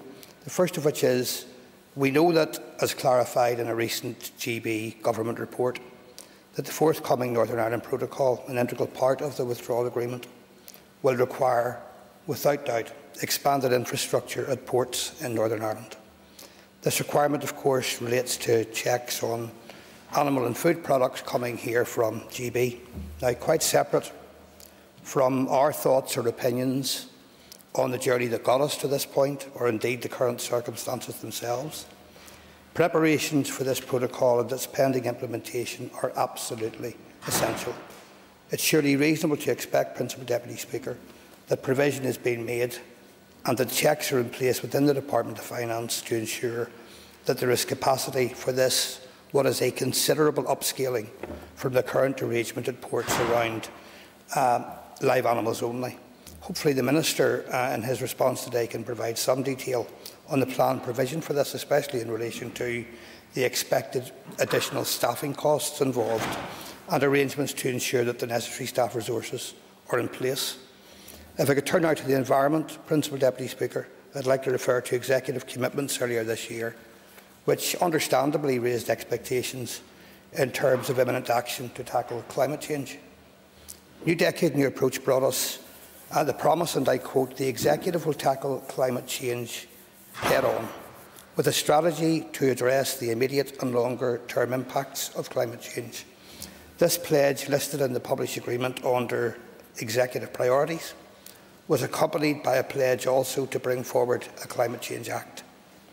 Now, recent much reported environmental improvements, less traffic, re reduced pollution, albeit at a time of unique and challenging circumstances, have demonstrated clearly that change can be made. That change thus far, however, has been circumstantial rather than policy driven. So, to harness the short term and recent gains in air quality, it would be reassuring to see firm, coordinated departmental commitment, backed by budgetary provision, to ensuring that the pledges previously given are fulfilled. Principal Deputy Speaker, we know that this will require collaborative efforts across department, not least of all from DAERA and infrastructure and economy. No commitment is required for financial provision, and I hope the Minister can refer to that later. There will be going forward opportunities as well to work with others in this regard, including through the recently established all-party group on climate change chaired by my colleague Rachel Woods there. Um, though those involved in that work will want to see commitment with policy and budgetary detail. Perhaps the Minister can offer this insight when he responds and can assist, hopefully, in the coordination of this commitment across departments to give some indication of the necessary funding has been requested from others, if it's being provided, and if it can meet the commitments declared. The matters I highlight, Principal Deputy Speaker, can be argued are one political, uh, one, one natural, but both involve imminent changes which will affect all of us. I'm hoping the Minister will clarify today that that necessary measures and finances are in place, and perhaps they are hidden in the detail that was mentioned a number of times earlier. But we know they are needed to deal with issue, these issues seriously and soon. Thank you. Thank you. I call Mr Declan McAleer. Um, uh, Concordia. I'd like to take this opportunity to uh, commend the Minister for bringing the budget before us here today, particularly in the context of a very serious global pandemic, the, the COVID crisis.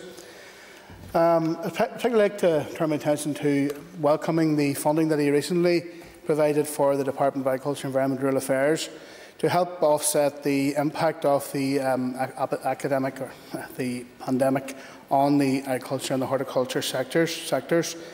The £25 million in particular has been very, very warmly welcomed uh, by the sector. And we had the uh, DAERA Minister before us at the committee on Friday. And, um, you know, from listening to him and indeed reading some of the public statements since the funding was announced, uh, it would appear that the priority sectors appear to be the, the dairy sector and the, the beef sector and indeed the horticultural sector. But I have to say that I have been approached, and like many other MLAs, by farmers from the beef and sheep sector who have been affected, affected gravely by this pandemic. Um, I should say that 80% of all farms in the north are beef and sheep farms. Out of the 25,000 farms are in the north, 20,000 are beef and sheep farms. And they have experienced a very severe um, price drop as a result of the COVID uh, pandemic and indeed the increase in co in input costs. And we've received various reports um, which have indicated that cattle, for example, have increased by uh, in the region of 230 pound a head, lambs by in the region of over 30 pound a head. And for many of these farms, they're also in the ANC areas, areas of natural constraint, and to, these farmers also have to contend with the loss of the ANC payment this year. And many of the farms are, quite small as well, and they, they struggle to benefit from the other schemes, such as the Self-Employed Income Support Scheme. And that was something that I alluded to earlier in, in the speech, where it would be important that many of these farms, which fall through the cracks of the R schemes, can uh, be um, supported by this funding.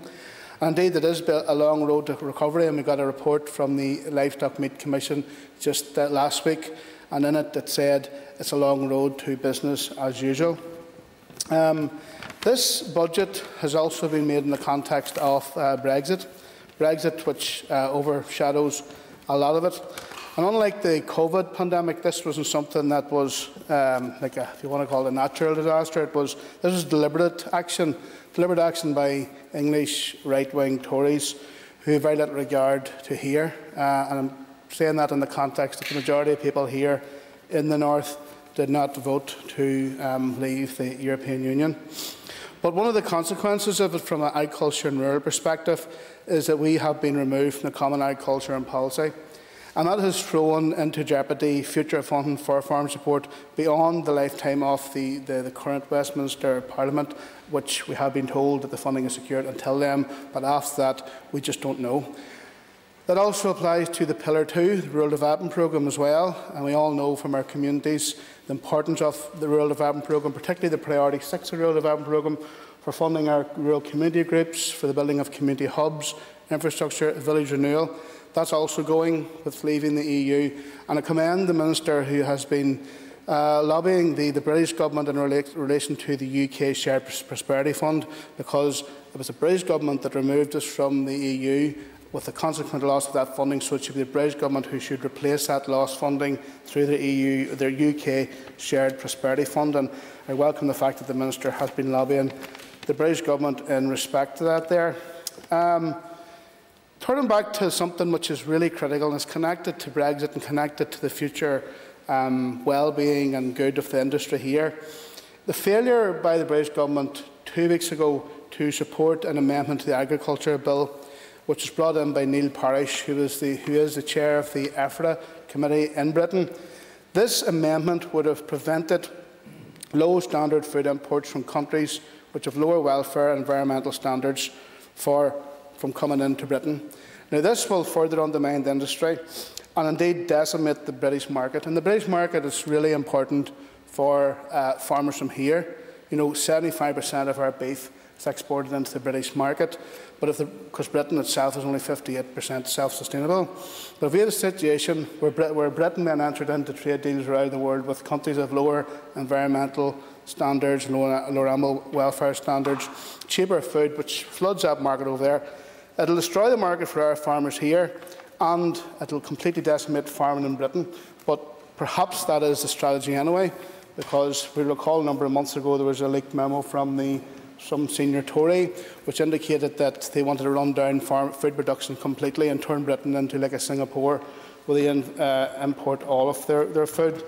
So that was a, that was a very serious um, blow two weeks ago on the farming union here. Indeed, the farming unions uh, across the water in Britain were, were devastated. They felt it was a slap in the teeth to uh, uh, the, our hard-pressed farming industry has worked so well to build up the industry here.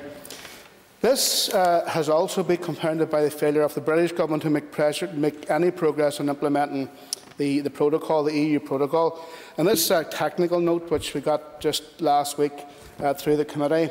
Uh, from um, it's a technical note which was prepared by the EU Commission, said in it that um, um, if, if the current existing posts are maintained as the end of the transition period, there will be no entry point solution in Northern Ireland for live animals and for products of animal origin. Now, that's a very, very serious situation as we're moving into this transition period. We don't have some arrangement for this. There will be no points of entry for, uh, for our, our, markets here, and that, that, that could be devastating for the industry here. So the point I'm saying is that the, you know, the, um, the British government have let down their farmers, sold out their farmers, and people are quite right to extol the benefits of the union. That's their, their belief. But that is what the British government has done to farming both across the water and potentially here. Uh, uh, they've run down farmers, uh, their farmers in their function as food producers. And as this uh, COVID pandemic highlight, hi highlights, a local so secure food supply line is crucial, particularly in times of crisis. And, and it's, it's, shocking that that amendment wasn't, wasn't accepted a couple of weeks ago. So, in conclusion, I want to support um, this budget. Uh, we recognise that the Executive has uh, a restricted envelope of funding at their disposal, and I support the Minister in, in his efforts, uh, both in the Executive and um, on behalf of the Executive, in pressing the British Government and the EU for the necessary additional funding to support our agri-food businesses um, here. So uh, thank you very, very much and I commend uh, the, the budget. Mr Colin McGrath. Thank you very much, Mr Principal Deputy Speaker, and I rise to contribute to today's debate on the incoming budget. But of course, I am fully uh, cognisant of the context in which we find ourselves uh, in light of the ongoing COVID pandemic. The pandemic has had a devastating impact on every part of our way of life. It has resulted in businesses having to make huge sacrifices in closing temporarily and also in throwing themselves at the mercy of various government departments in need of support. And the public has had to make its sacrifices in terms of social distancing and isolating themselves. And of course, we're hearing that there is another recession and that it's hurtling its way towards us. And that is to say nothing of the democratic deficit it has created in this House, uh, in which our role as elected legislators has been radically altered and indeed restricted. Uh, and thankfully, though, we are beginning to see a return to some sense of normality, be that even just the new norm. And the context of the North is, and has been for many years, is divided one, and therefore we need to see now more than ever a renewed sense of reconciliation. And the budget will play an essential part in addressing how we begin to put the North back together again following years of stagnation, stalemate and disruption. Um, the architects and peacemakers of 98 certainly understood that and understood that our response to the critical matters of the day in times of exceptional circumstances cannot be addressed by limiting response to their own individual constituencies. We must always have the bigger picture in mind. This reconciliation was sadly hindered by newspaper articles appearing in the South this weekend past and in GB, where it would appear that there is at least one government aide that is ready to take the legislation surrounding COVID-19 into his own hands. The people of the North need to have their faith in their government and to know that their government has their best interests at heart. The people of the North need to have a sense of purpose, a job and some hope uh, to have their individual dignity afforded to them. Our response, our investment our budget cannot be for the benefit of one group of people, but must be for all people. For all of our healthcare workers, for our teachers, for those that are unable to work, and for our emergency services, and indeed more. If this budget is not for the benefit of all, then we will have failed. I want to reflect on some of the spending that will impact the areas uh, that I've been following through some of my committee work. The victims' payment is an issue that is causing concern at the present time. This was mentioned in the New Decade New Approach document and to date has not been progressed. And this is causing worry and concern to people on the ground. These victims have suffered enough. We need to do the right thing and deliver this pension payment to them. They have already lost enough and made enough of a sacrifice in their lives. The legislation has been approved, but we need to see the delivery. And I do not believe that this is a payment that this executive should have to make on its own, but it is one that needs to be made. The British Parliament made the bill, and the British Exchequer should foot the bill. And this scheme includes people from beyond these shores, and it should not be left to the block grant of the North to pay. I welcome too that this year's budget includes payments for those impacted by historical abuse. Uh, this was a travesty of our past, and one that is being addressed in a small way in the payments from this scheme. I would welcome continued work going forward to secure from the institutions that were responsible uh, for the abuse, as this will help the balance sheets within the department in respect of the money. We are all too aware of the budget cuts that have left our public services and staff in uh, difficult financial hardship, and I believe that those who have been affected by these cuts could benefit uh, from much needed investment and financial relief.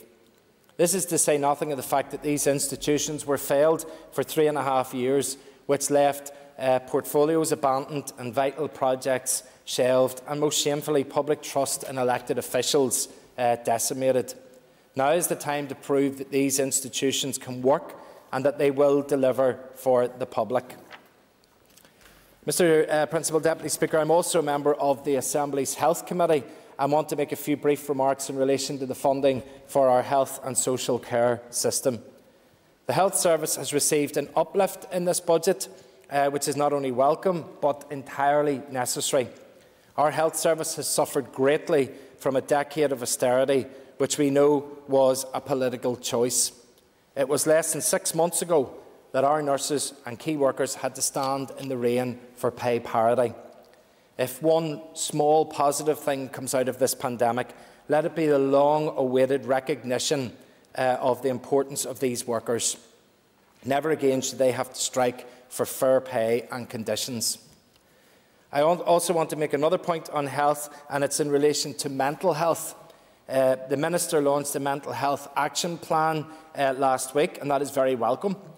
But the strategy is yet to be launched, uh, or that is yet to be launched, must be properly resourced. The Minister for Health, supported by executive colleagues, must consider a pandemic payment in our mental health and bereavement services to deal with the looming crisis that will come as a result of coronavirus. As I've said, we've been hit with a worldwide pandemic, and I appreciate and understand the massive impact that this will have on the budget process and the monies that the executive and departments will have to spend going forward. We need to see a joined up strategic budget that is flexible enough to respond to emerging need but also that addresses priorities equally. It was a criticism of budgets past that allocations were disproportionate and favoured larger parties' departments, and I think that that would be a crass move now and one that we certainly are not prepared to accept and will highlight and act should we see it happening. We need to match our spending to a set of coherent policies. It is incredibly important that our budget should be linked to a long-term vision for our public services and our economy beyond this crisis. I don't think there is much evidence yet of such a coherent policy, and I would be interested in the Minister's thoughts on developing such. We need also to be prepared for the impact of Brexit. This was once cited as the department officials as being the matter of their sole attention um, and that preparation was being undertaken by them, was consuming them in everything they did. Uh, that obviously has stopped because of coronavirus and has had to take a back seat and become the number two priority within departments. It is folly to accept that by not preparing for something properly that you are ready for it. By definition, it's almost impossible. Uh, we are suggesting and continuing to suggest that there should be an extension sought this doesn't require a compromise of politics. It requires the promise of using common sense. I would ask the Minister uh, for his department's understanding and assessment of where he feels the preparations for the executive departments are and whether or not an extension would be worthwhile. Mr Principal Deputy Speaker, in summation, now is the time to begin our journey for a joined up and a strategic budget. We have to do it now. This will be a year in which we have shown our capacity for compassion and how we have responded to the ongoing COVID uh, crisis. And I welcome the news today that there have been no recorded COVID-19 deaths in the last 24 hours, and thank God for that. But this can also be a year in which we can distribute our resources to the places that need them most in a strategic manner. Now is the time for a budget that works for people, for communities, for business and for the North as a whole. Thank you. Thank you. I call Mr Cathal Boylan. Thank you, Mr Principal Deputy Speaker. First, I would like to state some of the pressures the Department of Infrastructure has been facing for a number of years, as it is important to demonstrate the structural failings of austerity. Every member's constituency most likely gets countless issues regarding their roads, which has been operating on a skeleton service in recent history as a result of departmental cuts to budgets. This not only includes potholes, street light repairs and gritting. This service, before budget cuts, used to get around 35 million a year, but now receives half of that. On this, I commend the scheme introduced by my colleague Chris Hazzard in his tenure as Infrastructure Minister to target the repair of rural roads via, via the Roads Recovery Fund. The legacy of this initiative is that in the last two years the Department has allocated some 25 million to a Roads Recovery Fund, RRF, that mostly goes towards our rural roads. It is important that such a scheme continues and will hopefully inspire the Department to further invest in similar schemes. Meanwhile, our coveted rural community transport partnerships have faced stark cuts in their budget in recent years. Last year's budget allocation represented a reduction of almost 20% in the overall baseline since 2015-16. Community transport groups who are currently facing some pressure as a result of COVID-19 have been concerned that they've only received a letter of offer for three months. And on top of this, they have lost a significant amount of revenue via group hire work throughout this pandemic. It is most important that the Infrastructure Minister fully engages with the community transport moving forward as they provide an invaluable service to communities and continue to do so during COVID-19 by helping with essential journeys and deliveries. The lack of proper funding throughout the years due to austerity have left departments in a vulnerable position to respond to events such as COVID-19. These are not normal circumstances for a budget, and the reality is that the response to COVID-19 pandemic cannot be held within the confines of conventional departmental budgets. We need to have a comprehensive perspective when looking at our response to this pandemic. All departments, through you, Mr Principal Deputy Speaker, are facing significant pressures right now, but it is important to realise that instead of allocating funding on a departmental basis, the funding to respond to the COVID-19 pandemic has been agreed by the Executive as a whole on a needs basis instead. The pressures we currently face as a result of COVID and austerity has been compounded by the failure of the British Government to honour their commitments within the new decade new approach. It is noteworthy that one of these commitments was turbocharging infrastructure and mentioned vital projects such as improving the Belfast to Dublin Rail, the A5, A6 and the Narrow Water Bridge. This also included, included assisting in investing in our essential sewage infrastructure, which is a crucial issue across the north as around 100 areas have some capacity issues regarding sewage infrastructure. No drains, no cranes is the saying in NI water, and this needs to be addressed fairly across the north to allow balanced regional growth and tackle inequalities. Brexit continues to overshadow everything that we do and presents other economic problems down the line. For sectors, for sectors such as haulage and logistics, who are currently facing massive pressures due to COVID, this is a very worrying time indeed, and this is only worsened by the British Government not heeding the calls by so many for an extension to the current Brexit deadline. And while all of these issues which I have previously alluded to are ongoing, such as austerity, COVID-19 and Brexit, important, it is important to remember that addressing the climate change emergency also has to remain a priority. Any economic strategy to recover from this crisis caused by COVID-19 must be based on a just transition towards a net zero carbon economy. This includes tackling congestion and pollution levels and committing to decarbonising our transport network and travel behaviour. Yes, certainly. For the member for giving way, just um, reflecting what he said earlier on about um, that allocations have been made, I think he said on a needs rather than a departmental basis. He would, however, acknowledge that in order for money to be spent, it does have to go to a department at some point. Um, and in order to address some of the needs he talked about, including the crisis in Northern Ireland water and also moving towards active and, and green travel, that money will basically have to be allocated at some point to the Department for Infrastructure. Yeah, absolutely. And as long as the Minister alluded earlier on, as, there, as long as the proposal is brought forward to the executive, and then the executive make a decision on that. The challenge ahead will no doubt be significant, and we need to identify how best to facilitate an economic recovery.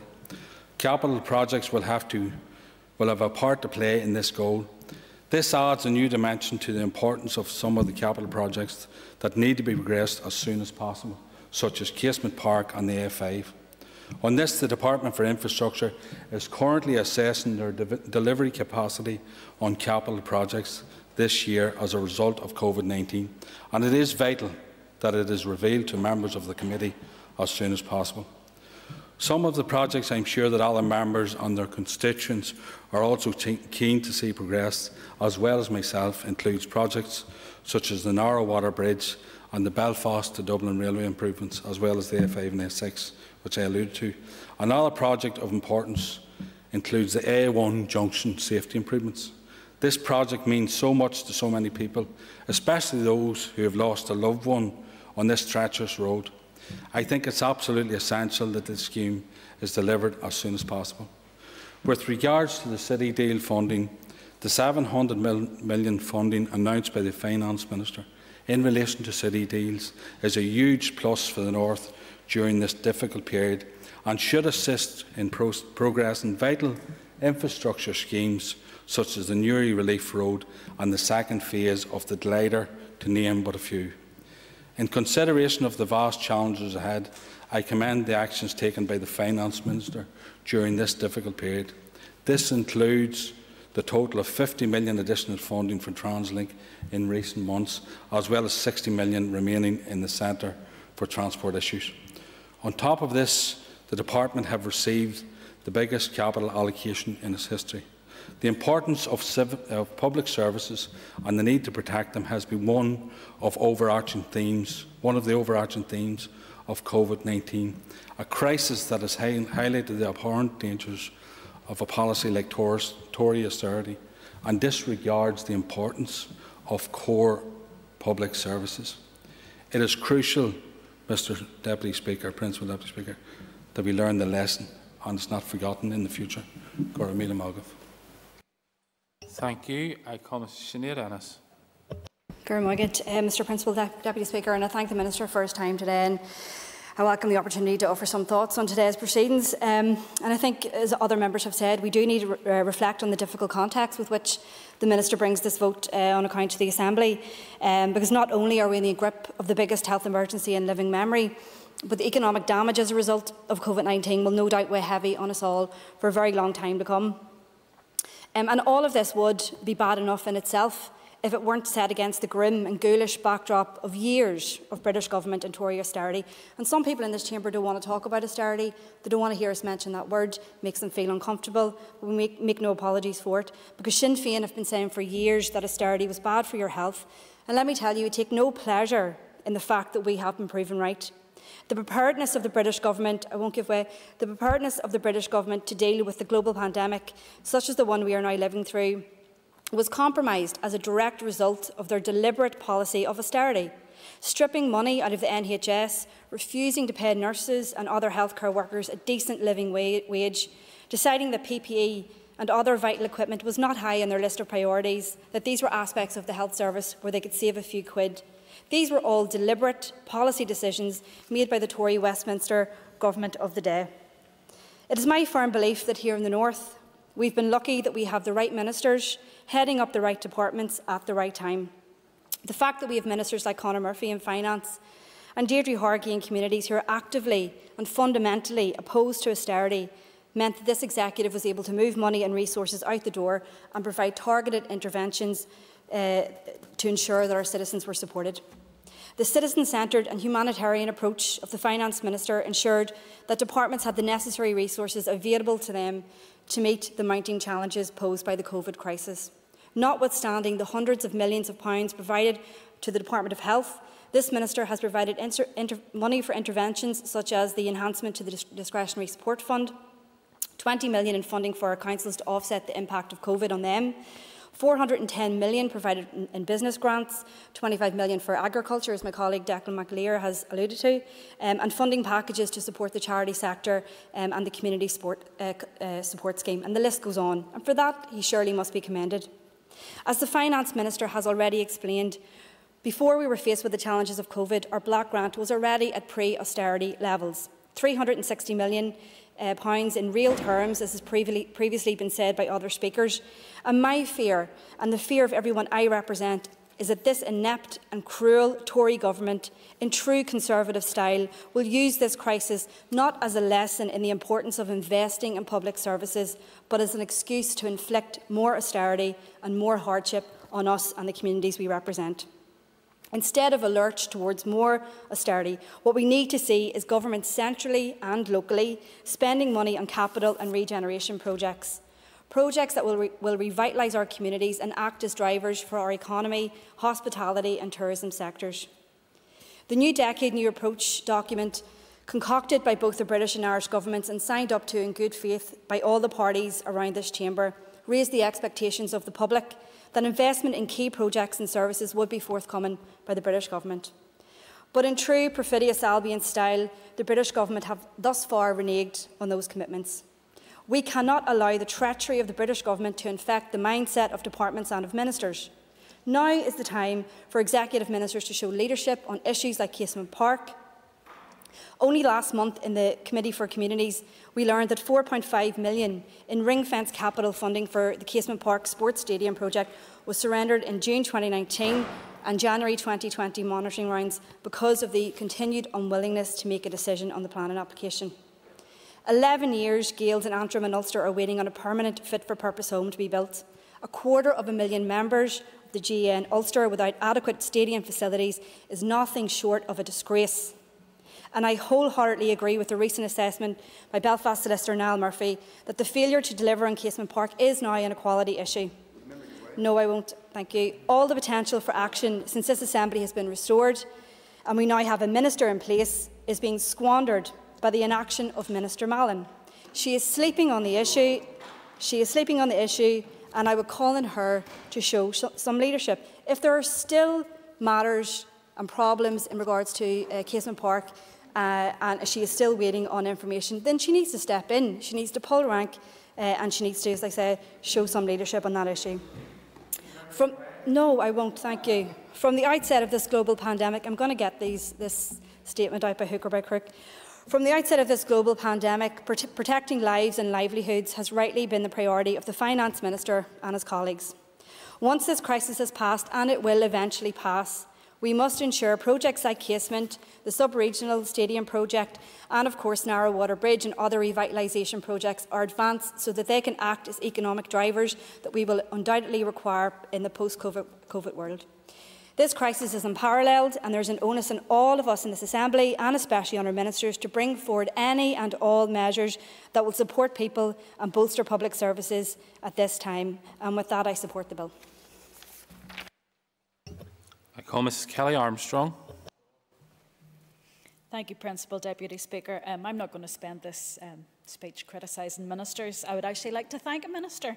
Um, the House has already agreed the supply resolution for the, for the further vote on account. This allows existing services to continue until this legislation is passed, enabling funds to meet the balance of estimated expenditure for the rest or for this financial year. As we've heard today, this year's budget is a moving feast. Due to the coronavirus, the Finance Minister and the Executive have been allocated unprecedented amounts of funds to help citizens through this crisis. As the amounts are changing regularly, it makes it very difficult to uh, a very difficult process to manage and report on. So I'd like to thank the Minister for actually getting us to this stage. Um, yes, we would have liked to have seen more detail, and yes, we would have liked to have seen it more uh, far earlier. But we have lost so many citizens throughout this crisis that it was right and proper to concentrate on them. As we know, earlier figures provided in the further vote on account 2020-2021 is the expenditure up until October 2020. What happens after October still needs to be clarified. Others have said it today, and I'll say it again. The budget is not set against an agreed programme for government. We await that document still from the Executive.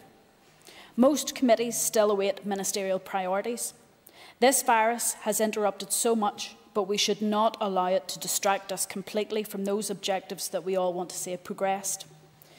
New Decade, New Approach had agreed priorities, many of which have not been brought forward yet. I am concerned that unless these priorities are detailed in a budget, they will not be able to progress in this term of office. For example, the review of education may not progress. That is not negotiable. There are reasons why some parties joined the executive, and some of those reasons are within the New Decade New Approach. It is therefore vital that the budget includes investment required to deliver on those priorities. And I'll ask the Minister in his summation what the thoughts are going forward on that. I appreciate the budget cannot provide the detailed information at this time. I know that we have an ever-changing picture as Barnett consequentials flow into departments here. I'm also mindful that Westminster can also decide to reduce spend in areas, and that could have a negative consequence here. What do we know of plans moving forward? Are we going to be completely dependent on the whims of Westminster this year? I recognise that departments have huge costs at this time, but they also have many projects that are not being taken forward because of the coronavirus. I expect these savings will be identified and drawn back into the Centre for Reallocation in the monitoring round, and we'll hear about that in September, October. Due to necessity, committees have not been able to scrutinise details in a way that we should, and that has been called for in the RHI report. Sadly, we are again considering another one-year budget. I get it, we're in a crisis, but we need to plan our way out of this crisis. This is what government is. This is what leadership is about. During New Decade, we all agreed that we needed to have longer funding periods. We talked about three-year budgets. This virus has taken that ability away from us. Sadly, we expect some businesses to close, some people to be made redundant. We hope that this situation does not cripple us with huge hikes in future rates bills for the cost of construction to go through the roof the cost of food and fuel to go up again. Mr Frew mentioned earlier when he talked about the savings plans, and I concur. I agree that the executive should not just be spending money at this stage. It should be looking to see where the savings and where can we spend that properly. I'd like to remind the minister and the executive that the committee uh, that committee's roles is not just to scrutinise but also to assist and support ministers. Committees can ask the question, so what? Is this project necessary? Is that really a priority? Do we have to spend the money now or can we programme it to be spent in the next year? We need to generate necessary savings that make this budget and for the rest of this year as effective and as efficient as possible.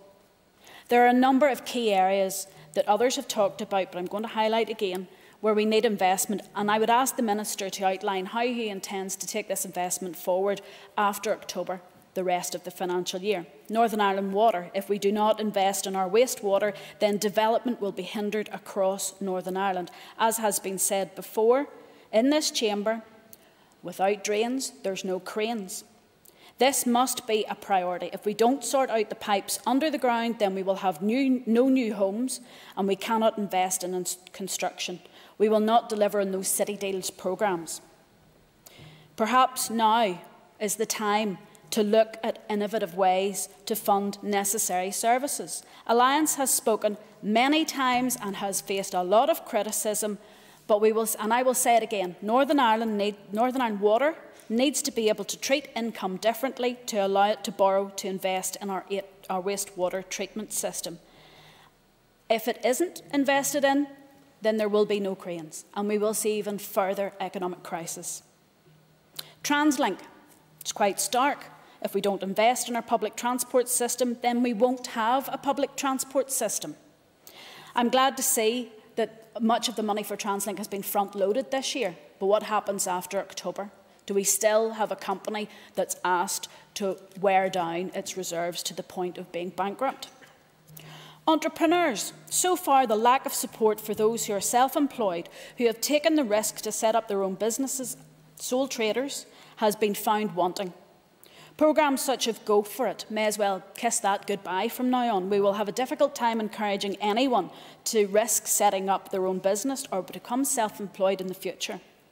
We will have a lot to do in coming months to encourage confidence in this government when those business owners feel so let down and left out.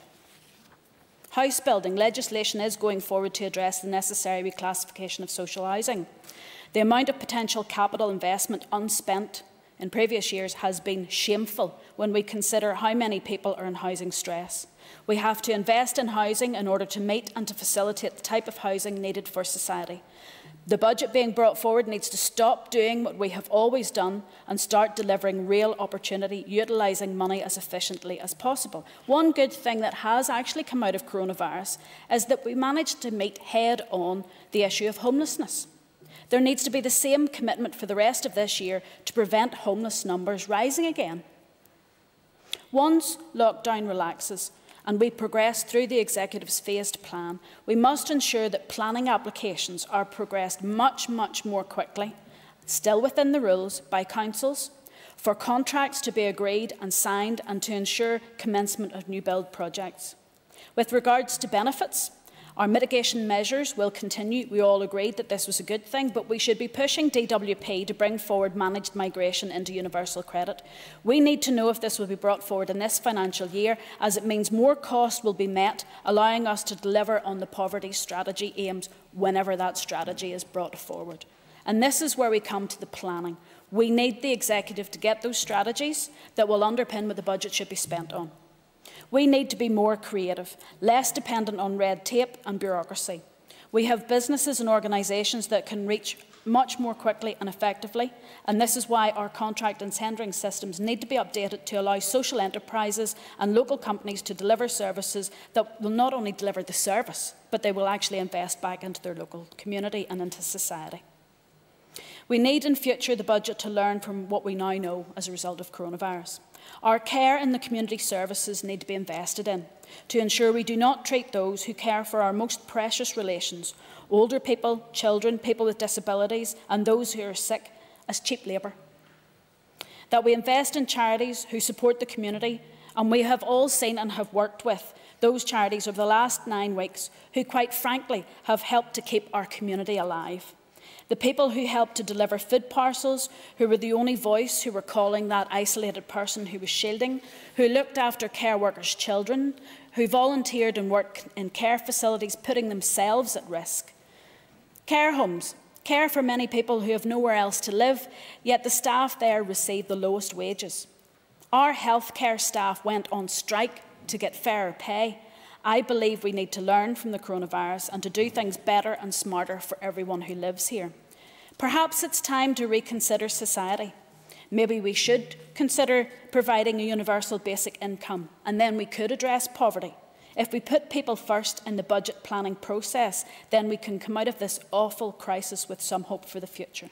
So I ask you, Minister, to confirm if you can or you will ask ministers to ensure when providing future financial asks, they do so not just to provide services, but that those services will deliver positive change and progress for the whole community. Thank you. Thank you. I call Ms Rachel Woods.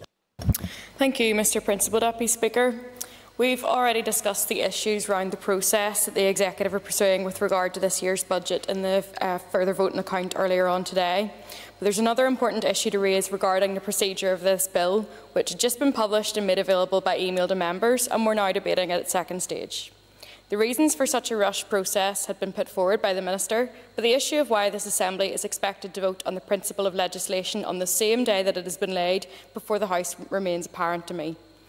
To ensure that legislation put forward by the Executive is adequately scrutinised, we should not accept such a procedure lightly, and it must not be the case that ministers feel that they have the power to rush things through in this manner.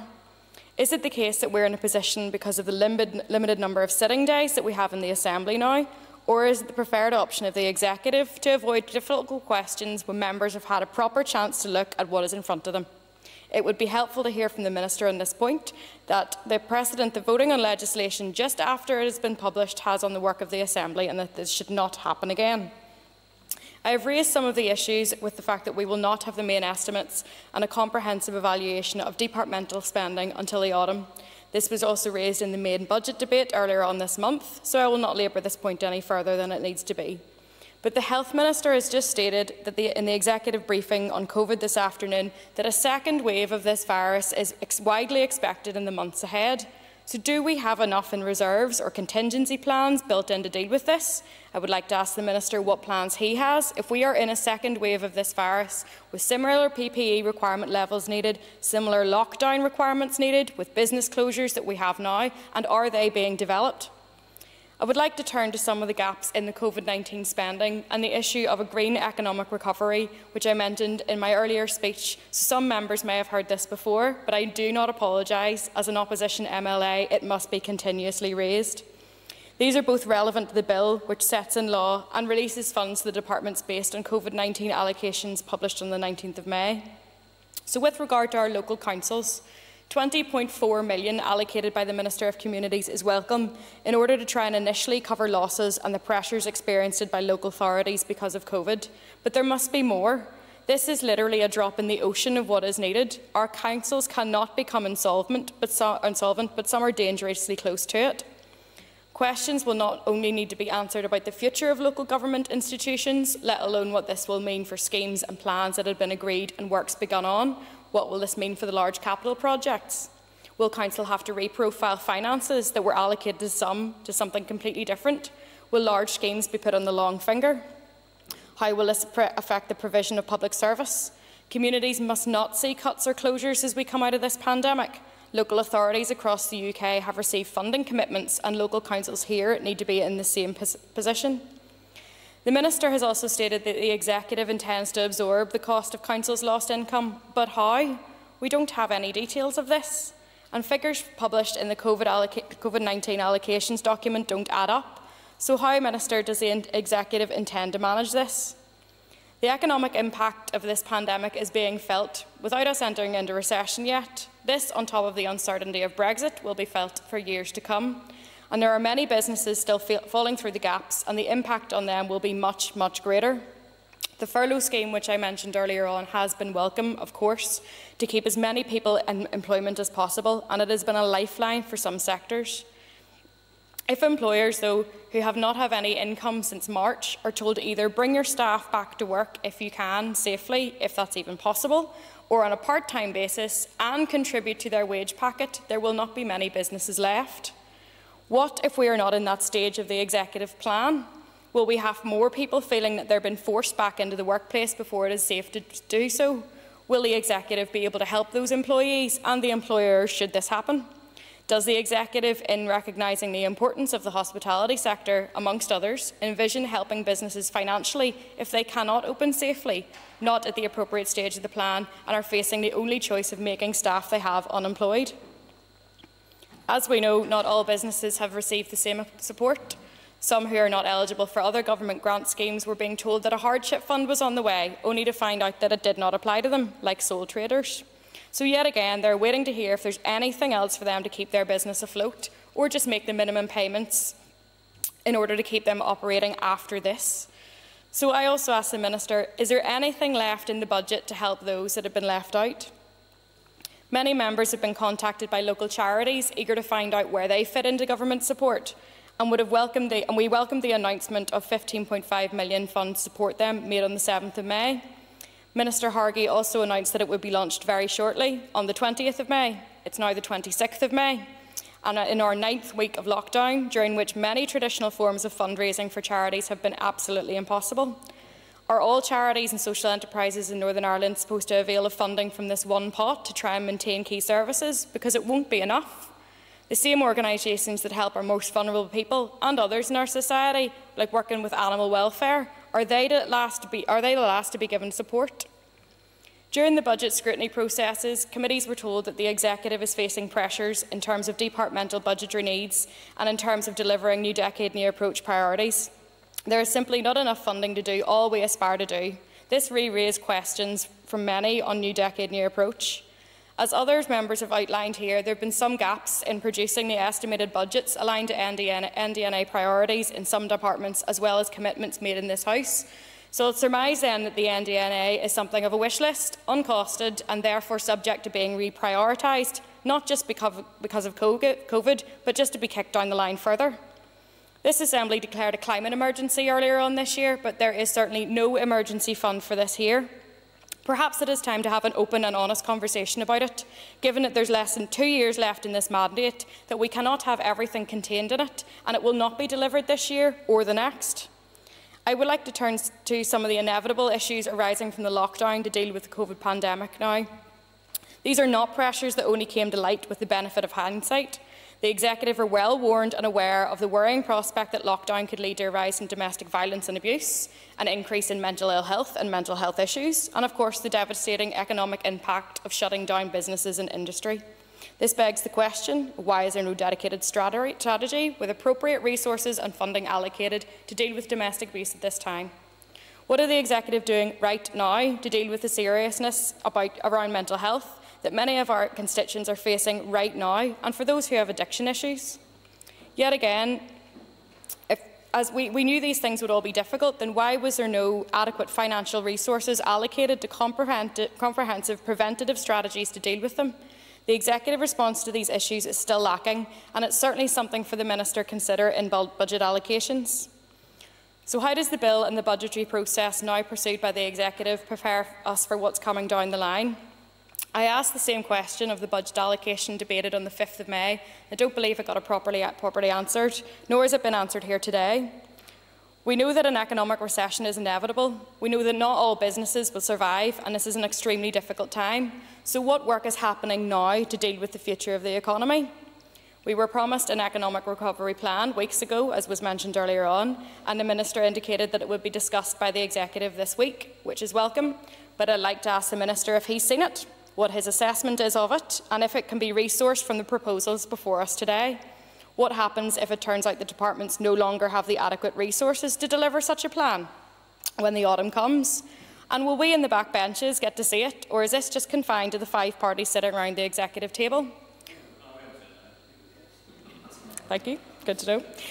We need a sustainable and fair and just recovery to get out of this.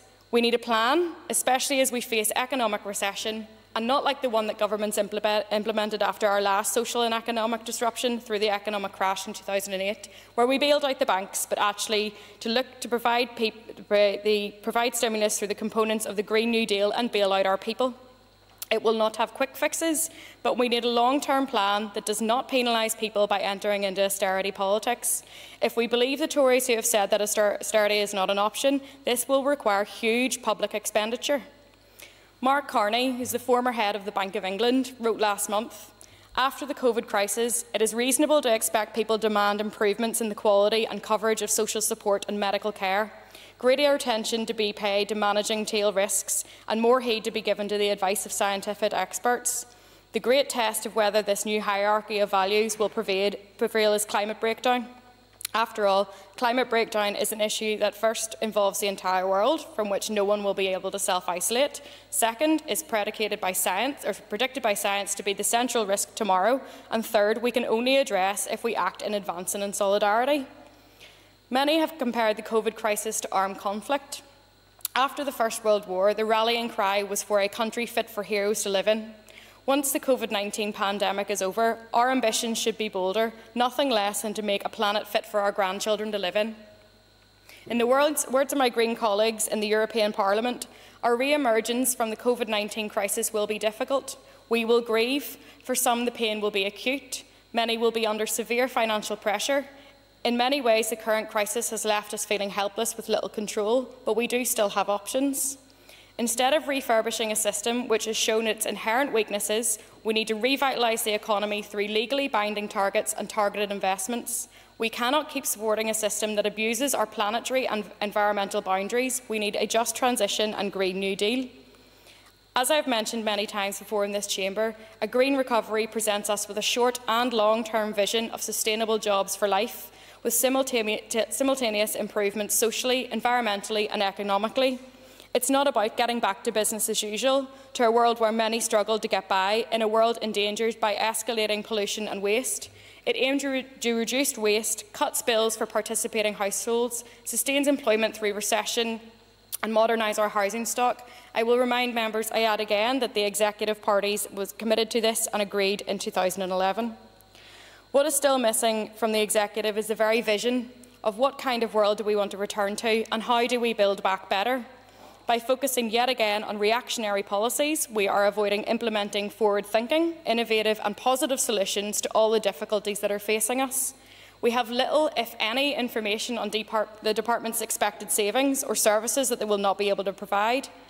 The second budget bill, of course, is a practical solution to the short-term cash issues faced by some departments, but we still have no longer-term view of this year's budget. The Minister wrote today for the Irish News, and in conclusion, he mentioned that we face the existential threat of, the glo of global warming, which requires a transition to a zero-carbon economy, which I, of course, welcome. But I asked the Minister then, what is his and the Executive's vision? Will he commit to investing in a green recovery, a just transition, using a Green New Deal to reboot our economy? To create jo jobs, warm our homes, make our new homes sustainable, boost revenue, strengthen public service and increase prosperity and save our planet. Dealing with climate breakdown and our biodiversity crisis is not separate from our economic issues. They are all intrinsically linked. The Executive must step up to the plate and show leadership when it comes to the climate emergency, and we need a clear long-term strategy. There's no time for further reactionary policies or sticking plasters to the serious issues ahead. Yes, Mr O'Toole. Thank you, Mr Principal Deputy Speaker. Just uh, and Mr Carroll's coming after me. Just very briefly, I wonder if you could advise on the best way, in the absence of interventions being taken, for a member of this House to correct statements that have been made around a minister's portfolio, particularly in relation to Casement Park. I think some statements have been made which don't completely reflect the position, particularly when certain parties have had three years okay. to, uh, to deal with these issues and they haven't. The member resume his seat. The member is a, is a relatively new member, but he's experienced about politics and was in Westminster for many years. He knows that's not a point of order. But he has observed, he's got his comments in the Hansard, even if he was chancing his arm to do it. I call Mr Gerry Carroll. Thank you, Mr Deputy Speaker. Um, I spoke at length earlier uh, on, a, on obviously a very similar and connected issue, so I'll, not, I'll try not to repeat myself. Uh, but have to say, Mr Deputy Speaker, it's becoming farcical in terms of the processes of scrutiny and accountability here, and I was sure some of the comments raised by uh, Rachel Woods. In the space of a couple of hours, we have went from the first stage to the second stage of the budget bill, where we sit in the chamber uh, this afternoon. And it's only during this time, uh, while I'm seated here listening and taking part in debates, that I've been sent the most recent budget documents, and at a cursory glance, I emphasise that, um, tell, it tells me that there's no um, little or no serious detail about the breakdown of departmental spending. Uh, we then find out that opposition parties, only a handful of whom, or I'd say the, the five-party executive, must submit any amendments by tomorrow. I know the executive may not like scrutiny, Mr Speaker, but this really takes a biscuit. Uh, suffice to say, I will be voting against this budget uh, for the same reasons I have already outlined earlier precisely when we need a break with the failed politics of, of the past. This budget, um, as I say, even at a glance, looks like a continuation of neoliberalism and, dare I say it, austerity politics. Um, major departments will be unable to meet costs and Minister Murphy's attempts to present many figures as increases in spending are largely spin. Take the health department, already chronically underfunded, entering this crisis, as people have said. Um, any increase in spending runs far short of departmental requirements and simply reflect rising inflation and a population that is living longer. But much worse, if you actually read the finer detail of the projections, uh, health spending going forward is to be predicated on 50 million savings um, from health trusts. More austerity, uh, in other words. And shocking to think, like I said earlier, during a health pandemic, the executive is contemplating further austerity uh, across health trusts. Uh, and by the way, I think that's about five times I've raised this specific concern uh, in this chamber and I have no direct response to it. Uh, the Minister may accuse me of repetition. I stand guilty as charged and I'll raise it again until I get an adequate response uh, to it from him or somebody else. That aside, Mr Deputy Speaker, I wanted to at least partially respond to uh, the Minister's uh, comments earlier uh, in relation to taxation, because frankly I think the Minister purposefully uh, caricatured the question um, in an effort at deflection. Let me repeat, like everyone, I am of course aware that taxation powers such as corporation tax are not currently under the control of the executive. The point I made earlier today was that for a near 10-year period, both Sinn Féin and the DUP made lobbying for these powers in order to cut taxes for big businesses, their cornerstone economic policy. Indeed, uh, I'll give way in a second. Indeed, this policy, in a sense, defined the economic strategy of previous governments here for a decade, and I would suggest that it is hypocritical, to say the least, for a government par party to spend years talking about the need for tax cuts for big businesses and to then attack a sole MLA for raising uh, the issue uh, of the need to tax the rich during a crisis uh, like this.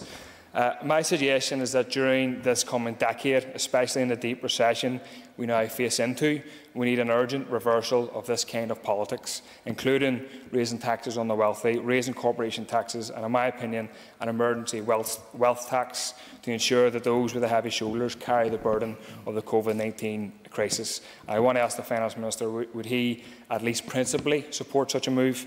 And if so, uh, has he ever raised it directly uh, with uh, either his executive colleagues or indeed the British Treasury uh, during his, his, few months uh, uh, in, in office. Mr Buckley, to respond to some of the points raised already, Mr Deputy Speaker, Mr Buckley referred to the, the take, take, take approach I think, advocated by myself, if I'm referring to his comments correctly.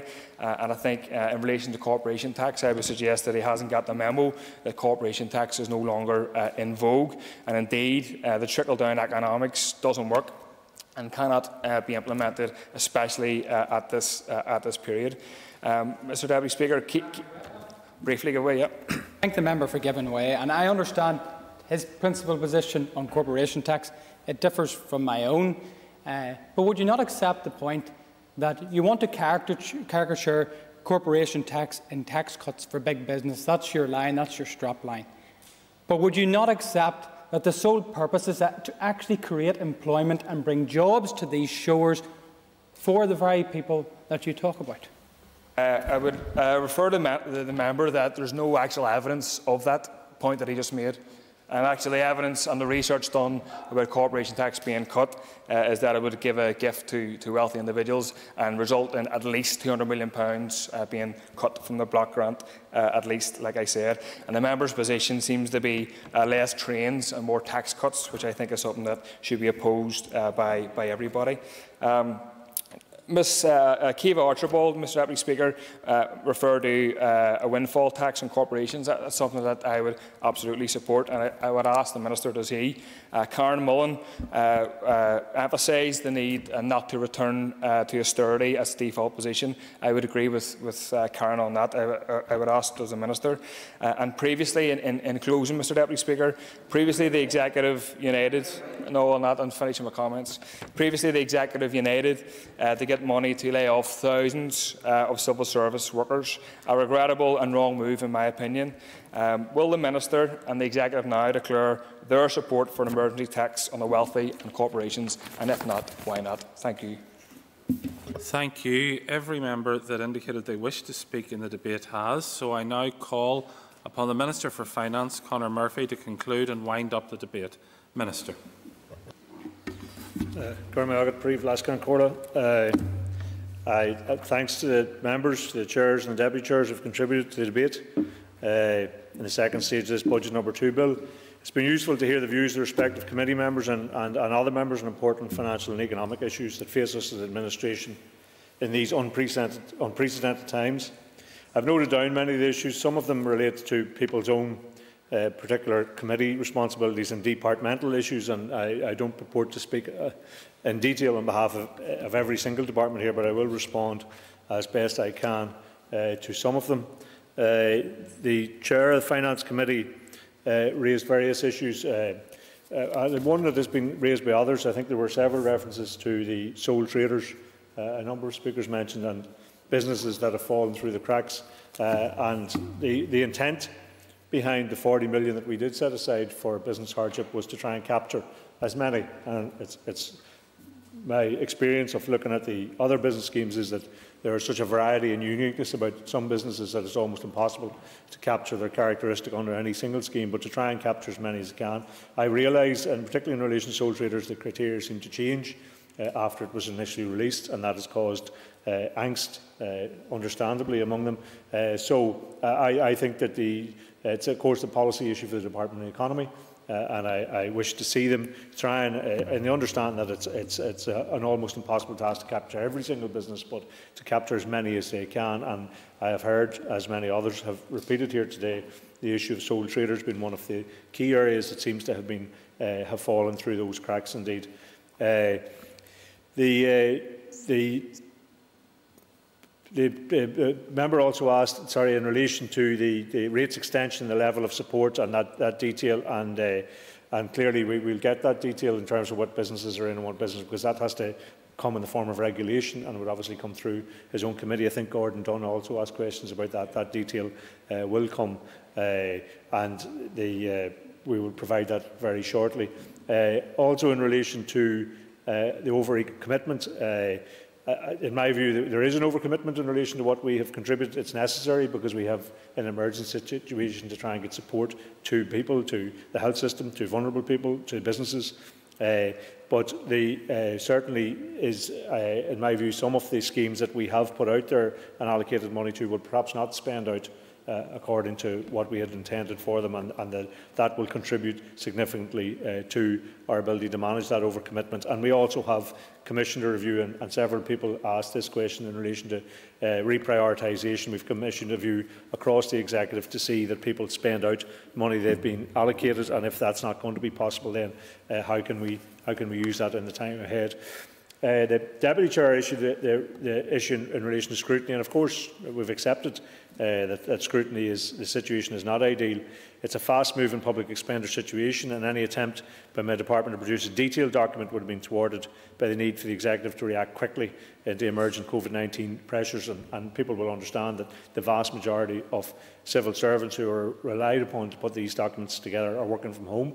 Uh, that's not to say that they have been provided with the IT to do that, but that makes the putting together and the gathering up of figures across all the departments and collation of that into a single document very, very difficult to do. Uh, and of course, the role of the scrutiny committees in these restricted circumstances is all the more important uh, in doing that. And of course, I want to see them having uh, the information that they can, uh, they can, they need to have uh, in relation to that. And I do intend to have a draft budget before the House in September. And the timing will depend on the, the spending review. People made references to the fact that they would like to see a longer term budgetary process. Uh, of course, that's not dependent on, on, necessarily on our actions, but actually dependent on the spending review that takes place in Westminster.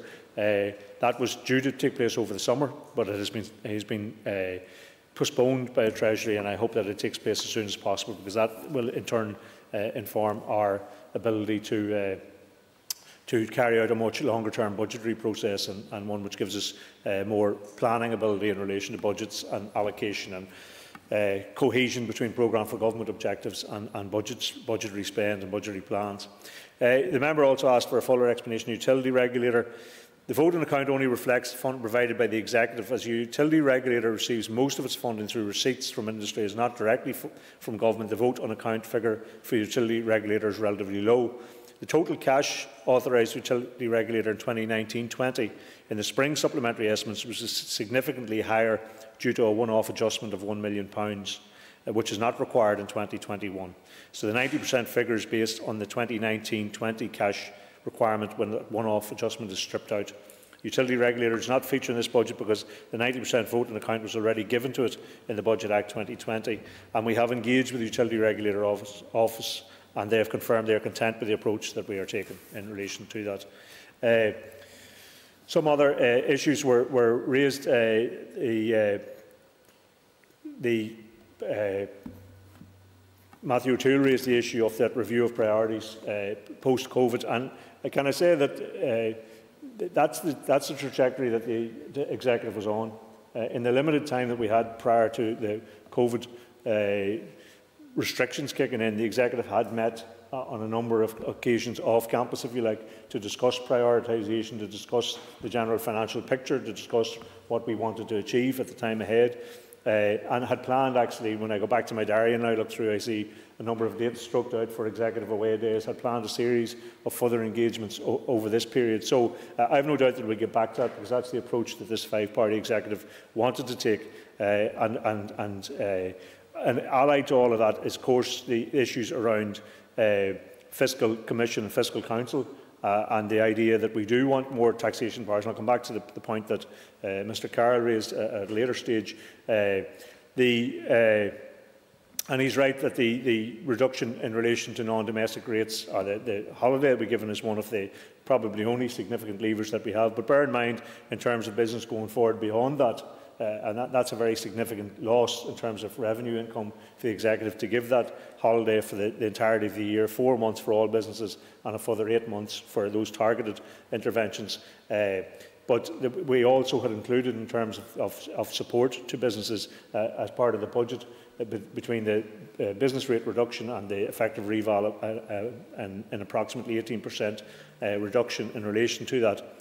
He also asked, as I think maybe Andrew Muir asked as well, in relation to borrowing powers, or perhaps it was in the earlier debate, this, this thing has gone on so long, I'm starting to merge some of the conversations from one debate to the next, but uh, they, to date, nearly two and a half million uh, or sorry, 2,489 million has been borrowed, and the outstanding borrowing is 1,680 uh, million. The interest charges are direct costs to Resource DEL and are 47.9 million uh, in this financial year.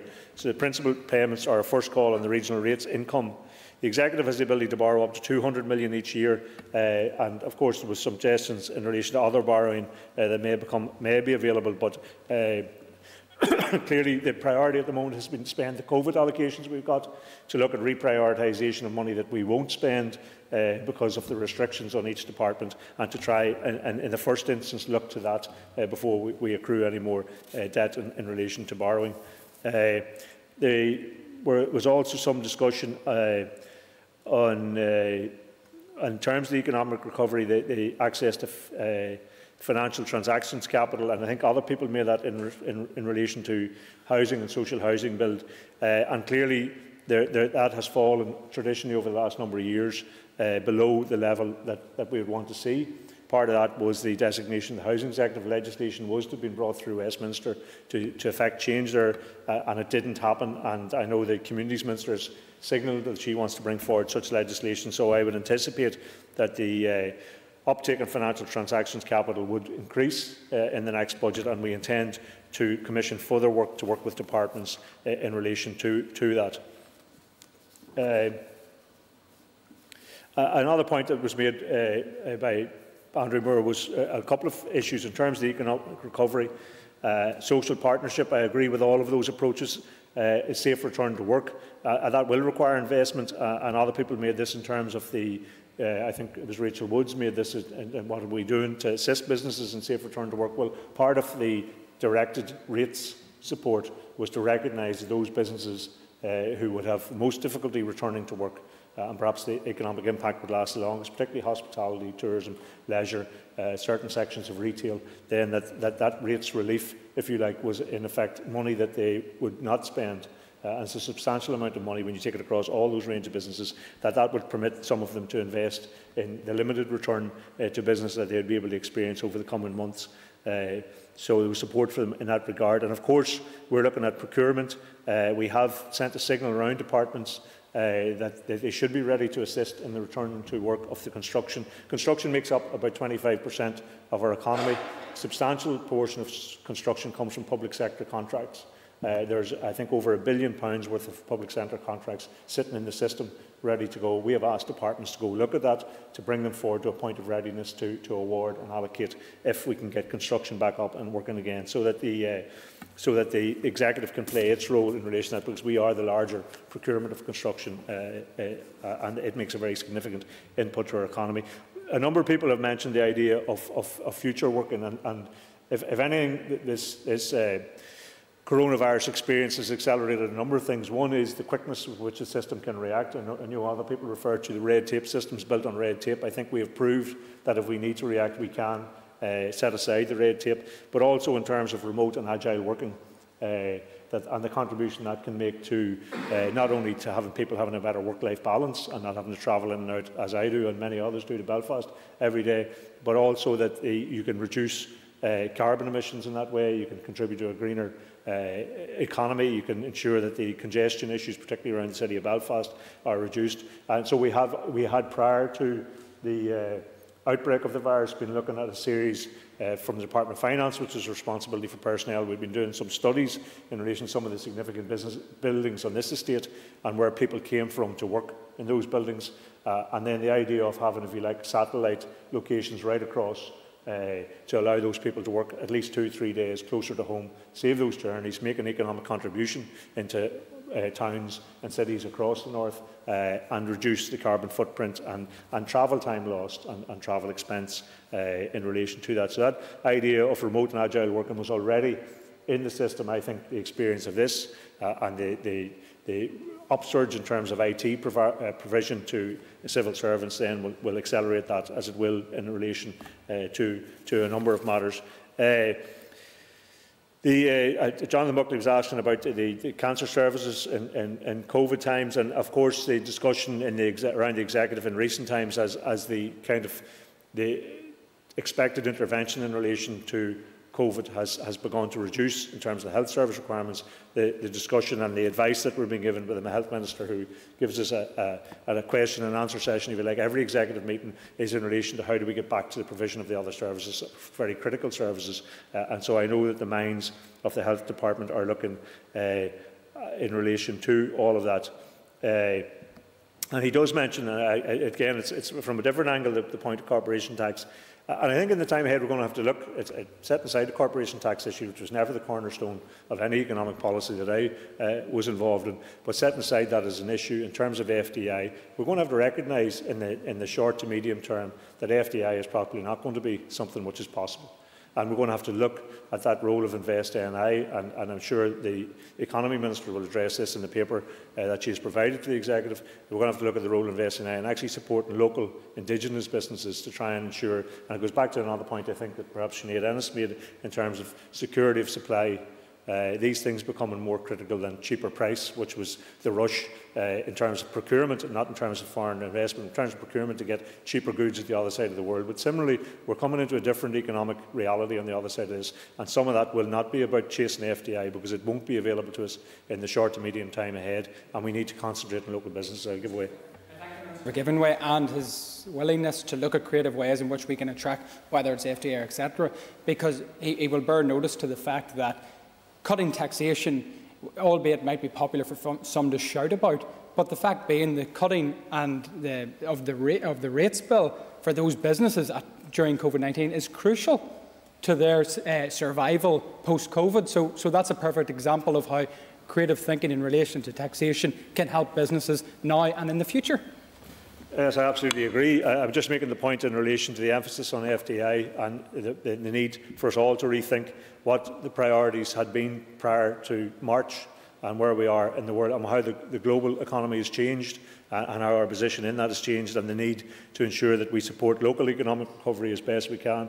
Uh, Caoimhe Archibald made a, a, a, number of points which I agree with in terms of principles of recovery and, and, and workers' rights and remote and agile working and green climate recovery and uh, looking at the issue of tax loopholes, which I'm happy to press with Treasury, uh, and supply chain sec security, and that, that, feeds into the last point uh, in which uh, I was. Uh, I was, I was remarking, and Gordon Dunne raised the ongoing support for manufacturing. Of course, manufacturing still continues to benefit from that uh, manufacturing relief, which was worth about 70%. So it had the entirety, which didn't apply in Britain, uh, because manufacturing, commercial, service industries didn't get uh, rates reduction or rates holiday in Britain. Uh, we have all sectors of business for four months, and then manufacturing continues to benefit from that rates reduction it enjoys, which again is unique to here, doesn't experience uh, anywhere else. And uh, Sinead McLaughlin is away, but one of the points she did raise, which, which kind of uh, uh, has me wondering uh, in relation to, she, she, asserts that Magee and the University of Ulster are, are, deeply uncertain, as she is, in relation to the next steps. And I know it was very extensive consultation and dialogue with Magee over the last number of weeks in which I was advised that they were very certain and supportive of the steps that were taken and, uh, and pleased that that, that give them a, a sense of security. So I, I'll have to go back and check with those who were speaking to them from a very senior level in the executive if that's now not the case uh, uh, in relation to that. Then I say Karen Mull's point in relation to childcare is well made, and that's why the executive decided to include the childcare sector in that sector, which would experience rates holiday right to the end of the financial year, because we recognised very much uh, that it was another sector uh, that, that was going to struggle in terms of the uh, distancing, social distancing measures that were required, that it effectively collapsed over the period of this lockdown and was going to struggle in the time ahead uh, to get to get up and going. Uh, John Blair had asked about the, uh, the cost arrangements for the protocols for the Brexit. Uh, and of course, we did get some Brexit no, no deal money last year ahead of the executive coming back, some of which was been able to be used, it was retained, and uh, obviously no deal then didn't happen, although a, a version of no deal could likely happen or could well happen in the time ahead. Uh, and clearly, the Treasury have committed to any spend that is required to give effect to Brexit that they will provide, so we will hold them to that in the time ahead.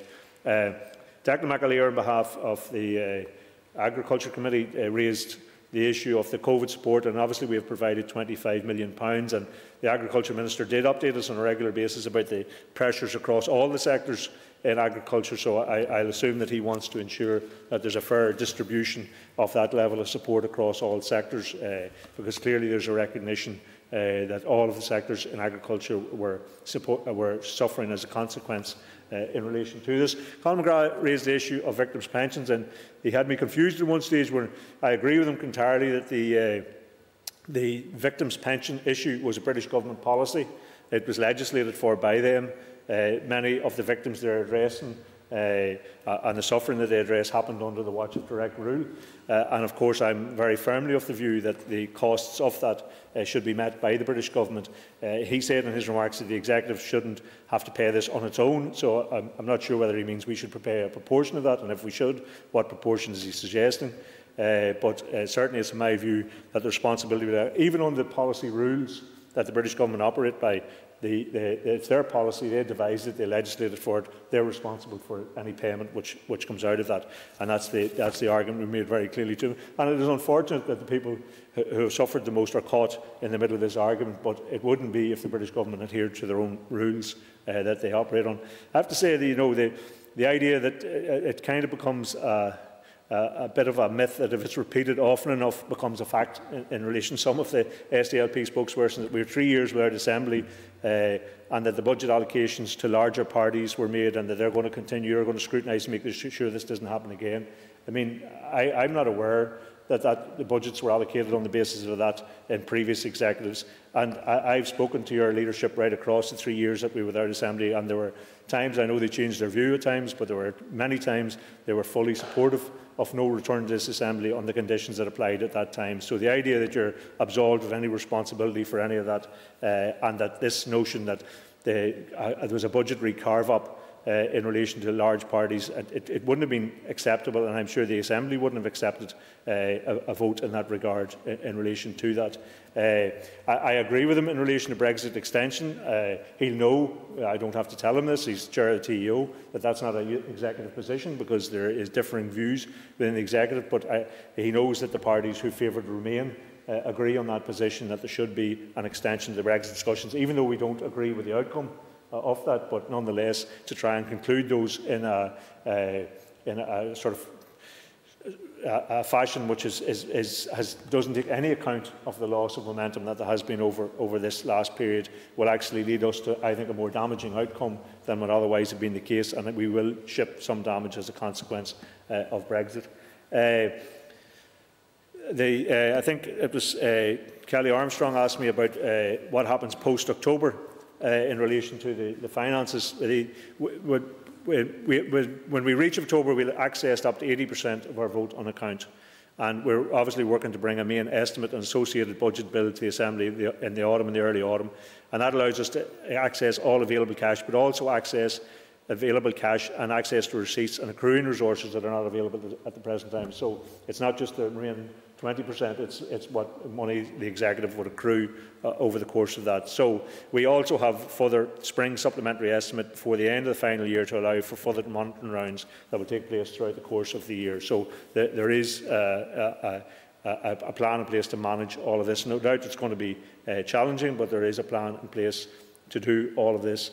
Uh, she mentioned a, a range uh, of issues that we needed to spend on, and uh, in terms of reprioritisation, uh, I, I think she maybe echoed the Justice Committee Chair in one of the previous debates, where he said the committees did have an important role to make sure departments weren't sitting on money just in the off chance that they might spend it, but that they actually had a, a long, hard look. That's what we've been asking to do. I have to say the response has been patchy. Uh, and uh, we, need, we need committees to perform a function in that if we want to ensure that we have sufficient funds at the end of this financial year to deal with all of the things uh, and the ongoing effect of the downturn uh, in relation to uh, the outcome of COVID uh, will undoubtedly have. Uh, and as I say, I've addressed some of the issues you mentioned in terms of financial transaction capital. Uh, the, the, the issue of spending in uh, Northern Ireland Water and Translink Uh, as we said, we, we have given the largest allocation in that department's history to the Department of Infrastructure. Uh, and clearly they have to set their priorities within that capital allocation. Uh, and so, uh, undoubtedly, I, I know that the, uh, the Infrastructure Minister is aware of the need for investment uh, in Northern Ireland Water and the, uh, the issue of uh, need for investment in Translink. Can I say in relation to the status of Northern Ireland Water to change it. In a previous life, when I was Minister for Regional Development, I brought a proposition to the Executive to change the status of NIW to achieve the outcome that she argued. I never got the backing from one single other party uh, to change the status of NIW, and the issue went back onto the shelf. So I, I wish luck to the Minister for Infrastructure this time around if she can do something in relation to that. Uh, uh in relation to some of the points that uh, Rachel Woods made, in terms of accelerated passiveness, we just had the debate. I can't ram stamp through accelerated passage.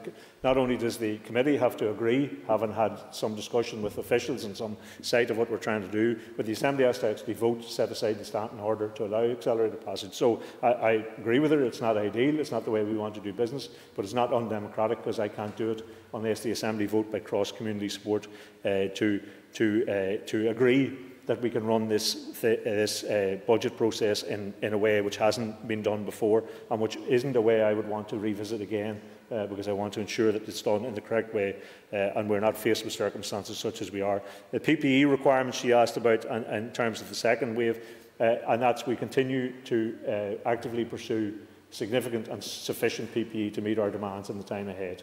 Uh, and I'm doing that alongside the Health Minister, uh, and we hope to be able to uh, see that uh, through in the not too distant future. Uh, and in terms of the local council COVID allocation, uh, we got £50 million in a Barnett consequences. So that's a measure of what was given to local councils in Britain. Uh, now, local councils in Britain, as you'll understand, deliver uh, education services, deliver uh, social services as well, which aren't delivered by our local councils here. So when those were stripped out, we had a Barnett allocation of 20 million, which was given to local government. Now, the Department for Communities will work out the formula uh, by which that is uh, distributed and, and obviously the local government will be involved in discussing that and the, the priorities to which they will put that. But uh, we certainly understand the challenges faced by local government and we want to support them in relation to all of that. She mentioned a whole range of other issues uh, and every one of them, the answer to them was more resource. So if I was answering collectively, the very short answer is no. We do not have enough resource to cover all of the issues that you've mentioned. We have a limited resource uh, and we have given away, as a consequence of supporting business, uh, significant access to revenue that's available to the Executive over the course of a year. So we will not have enough resource to do all of the things that you have asked us to do. And that means that we have to prioritise, and that's what these debates are for. That's what the discussion with the committees are for, is to recognise we have a very limited uh, financial allocation. We need to prioritise it. We need to agree those priorities. Where they're wrong, we should be criticised, and we're open to criticism, but we can't make the pot any bigger. As a matter of fact, in terms of the financial supports we've put out there, we've actually shrunk the pot uh, over the last number of weeks. Uh, but everybody told us it was the right thing to do in terms of ensuring businesses didn't go out of business, and, and I'm sure she doesn't disagree with that. And I fully agree with her in terms of the, uh, which she talks about a sustainable, fair and just recovery. That's exactly what I'd like to see.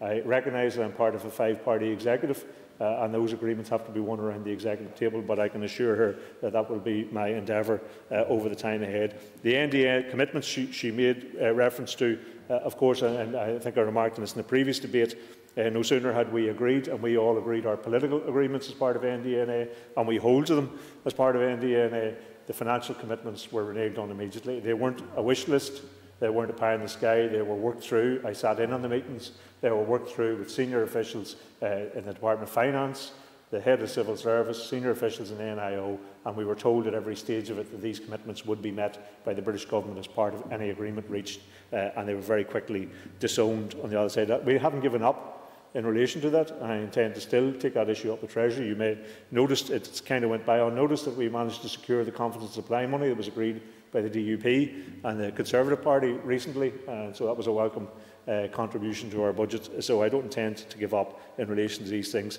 Uh, and uh, Gerry Carroll was the last speaker, and absolutely agree with the. He, he, quoted some of the other speakers. Of course, I agree with him. That's uh, it's, it's our party policy. One of the differences is that when we make arguments in relation to that, particularly in the south, we have to go and we have to go and cost all of those issues. So if we're going to make a contribution to a budget debate in the south, we have to go and all the propositions that we criticise the government and their approach were down there, we go and cost those with the Department of Finance and we put up an alternative budget. So I would recommend it to him at some stage uh, to go and try and do that because he can tell us, and he's entitled to criticise, and that's what he's here for, to represent people who voted for him. Uh, but also, it, you know, at some stage you have to uh, you have to say, here's my priorities, here's what they'll cost, here's where you're spending. Uh, and that's what I disagree with, and that money could go there and have a better outcome. And I'd look forward to hearing that from at some stage. Uh, can I say in relation to corporation tax, it was not the cornerstone of any policy. It was an agreement, and if he reads the Stormont House agreement, which it was mentioned, it was very clear that it was in the context of it being affordable, that if the executive considered it to be affordable, uh, and clearly, since that, uh, since that uh, I'll just finish this point and I'll take him in if everybody's happy to stay here all evening. But uh, since that point, clearly the executive has considered it not to be affordable. And I said very early, early on in my position as finance minister that it was not something I was pursuing. And I think the, actually the economy minister said herself she agreed with that position.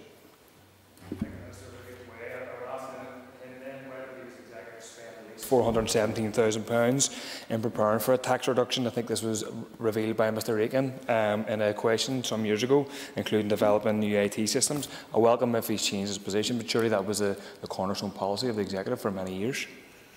Well, as I said, in relation to uh, corporation tax, there was no cornerstone policy. Uh, it was something that the executive would consider in terms of its affordability, and it clearly was never considered to be affordable, and, and isn't pursued and is not being pursued.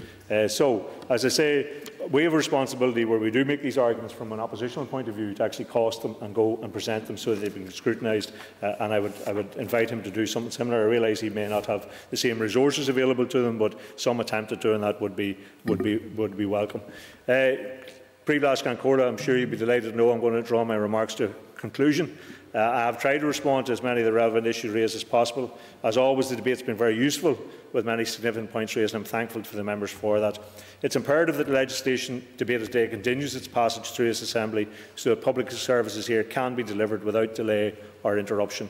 So in conclusion, Príomh-Leas-Cheann Comhairle, I ask members to support the bill, thereby authorising spending on public services by departments in the 2020-21 for the, to the, for, the, for the vote on account.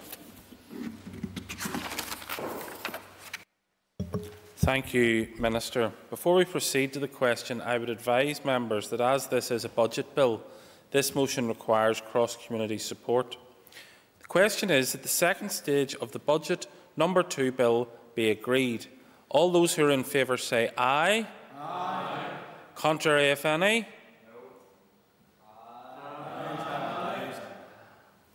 If Mr Carroll and Miss Woods, were you the other? No? No, you weren't. If, Mr Carroll, you would like me to record that you have voted no, that's now in Hansard and we can avoid a division of the House. So that's now in the record that you were against. So I'll ask the question again. The question is, the question is that the second stage of the budget number two bill be agreed. All those in favour say aye. aye. Contrary, if any? I think the ayes have it. The ayes have it. That concludes the second stage of the Budget Bill. Amendments to the bill may be submitted to the Bill Office up to 12 noon Wednesday the 27th of May. Item number four on the order paper is the adjournment. Before I put the question, I remind members that the next plenary session of the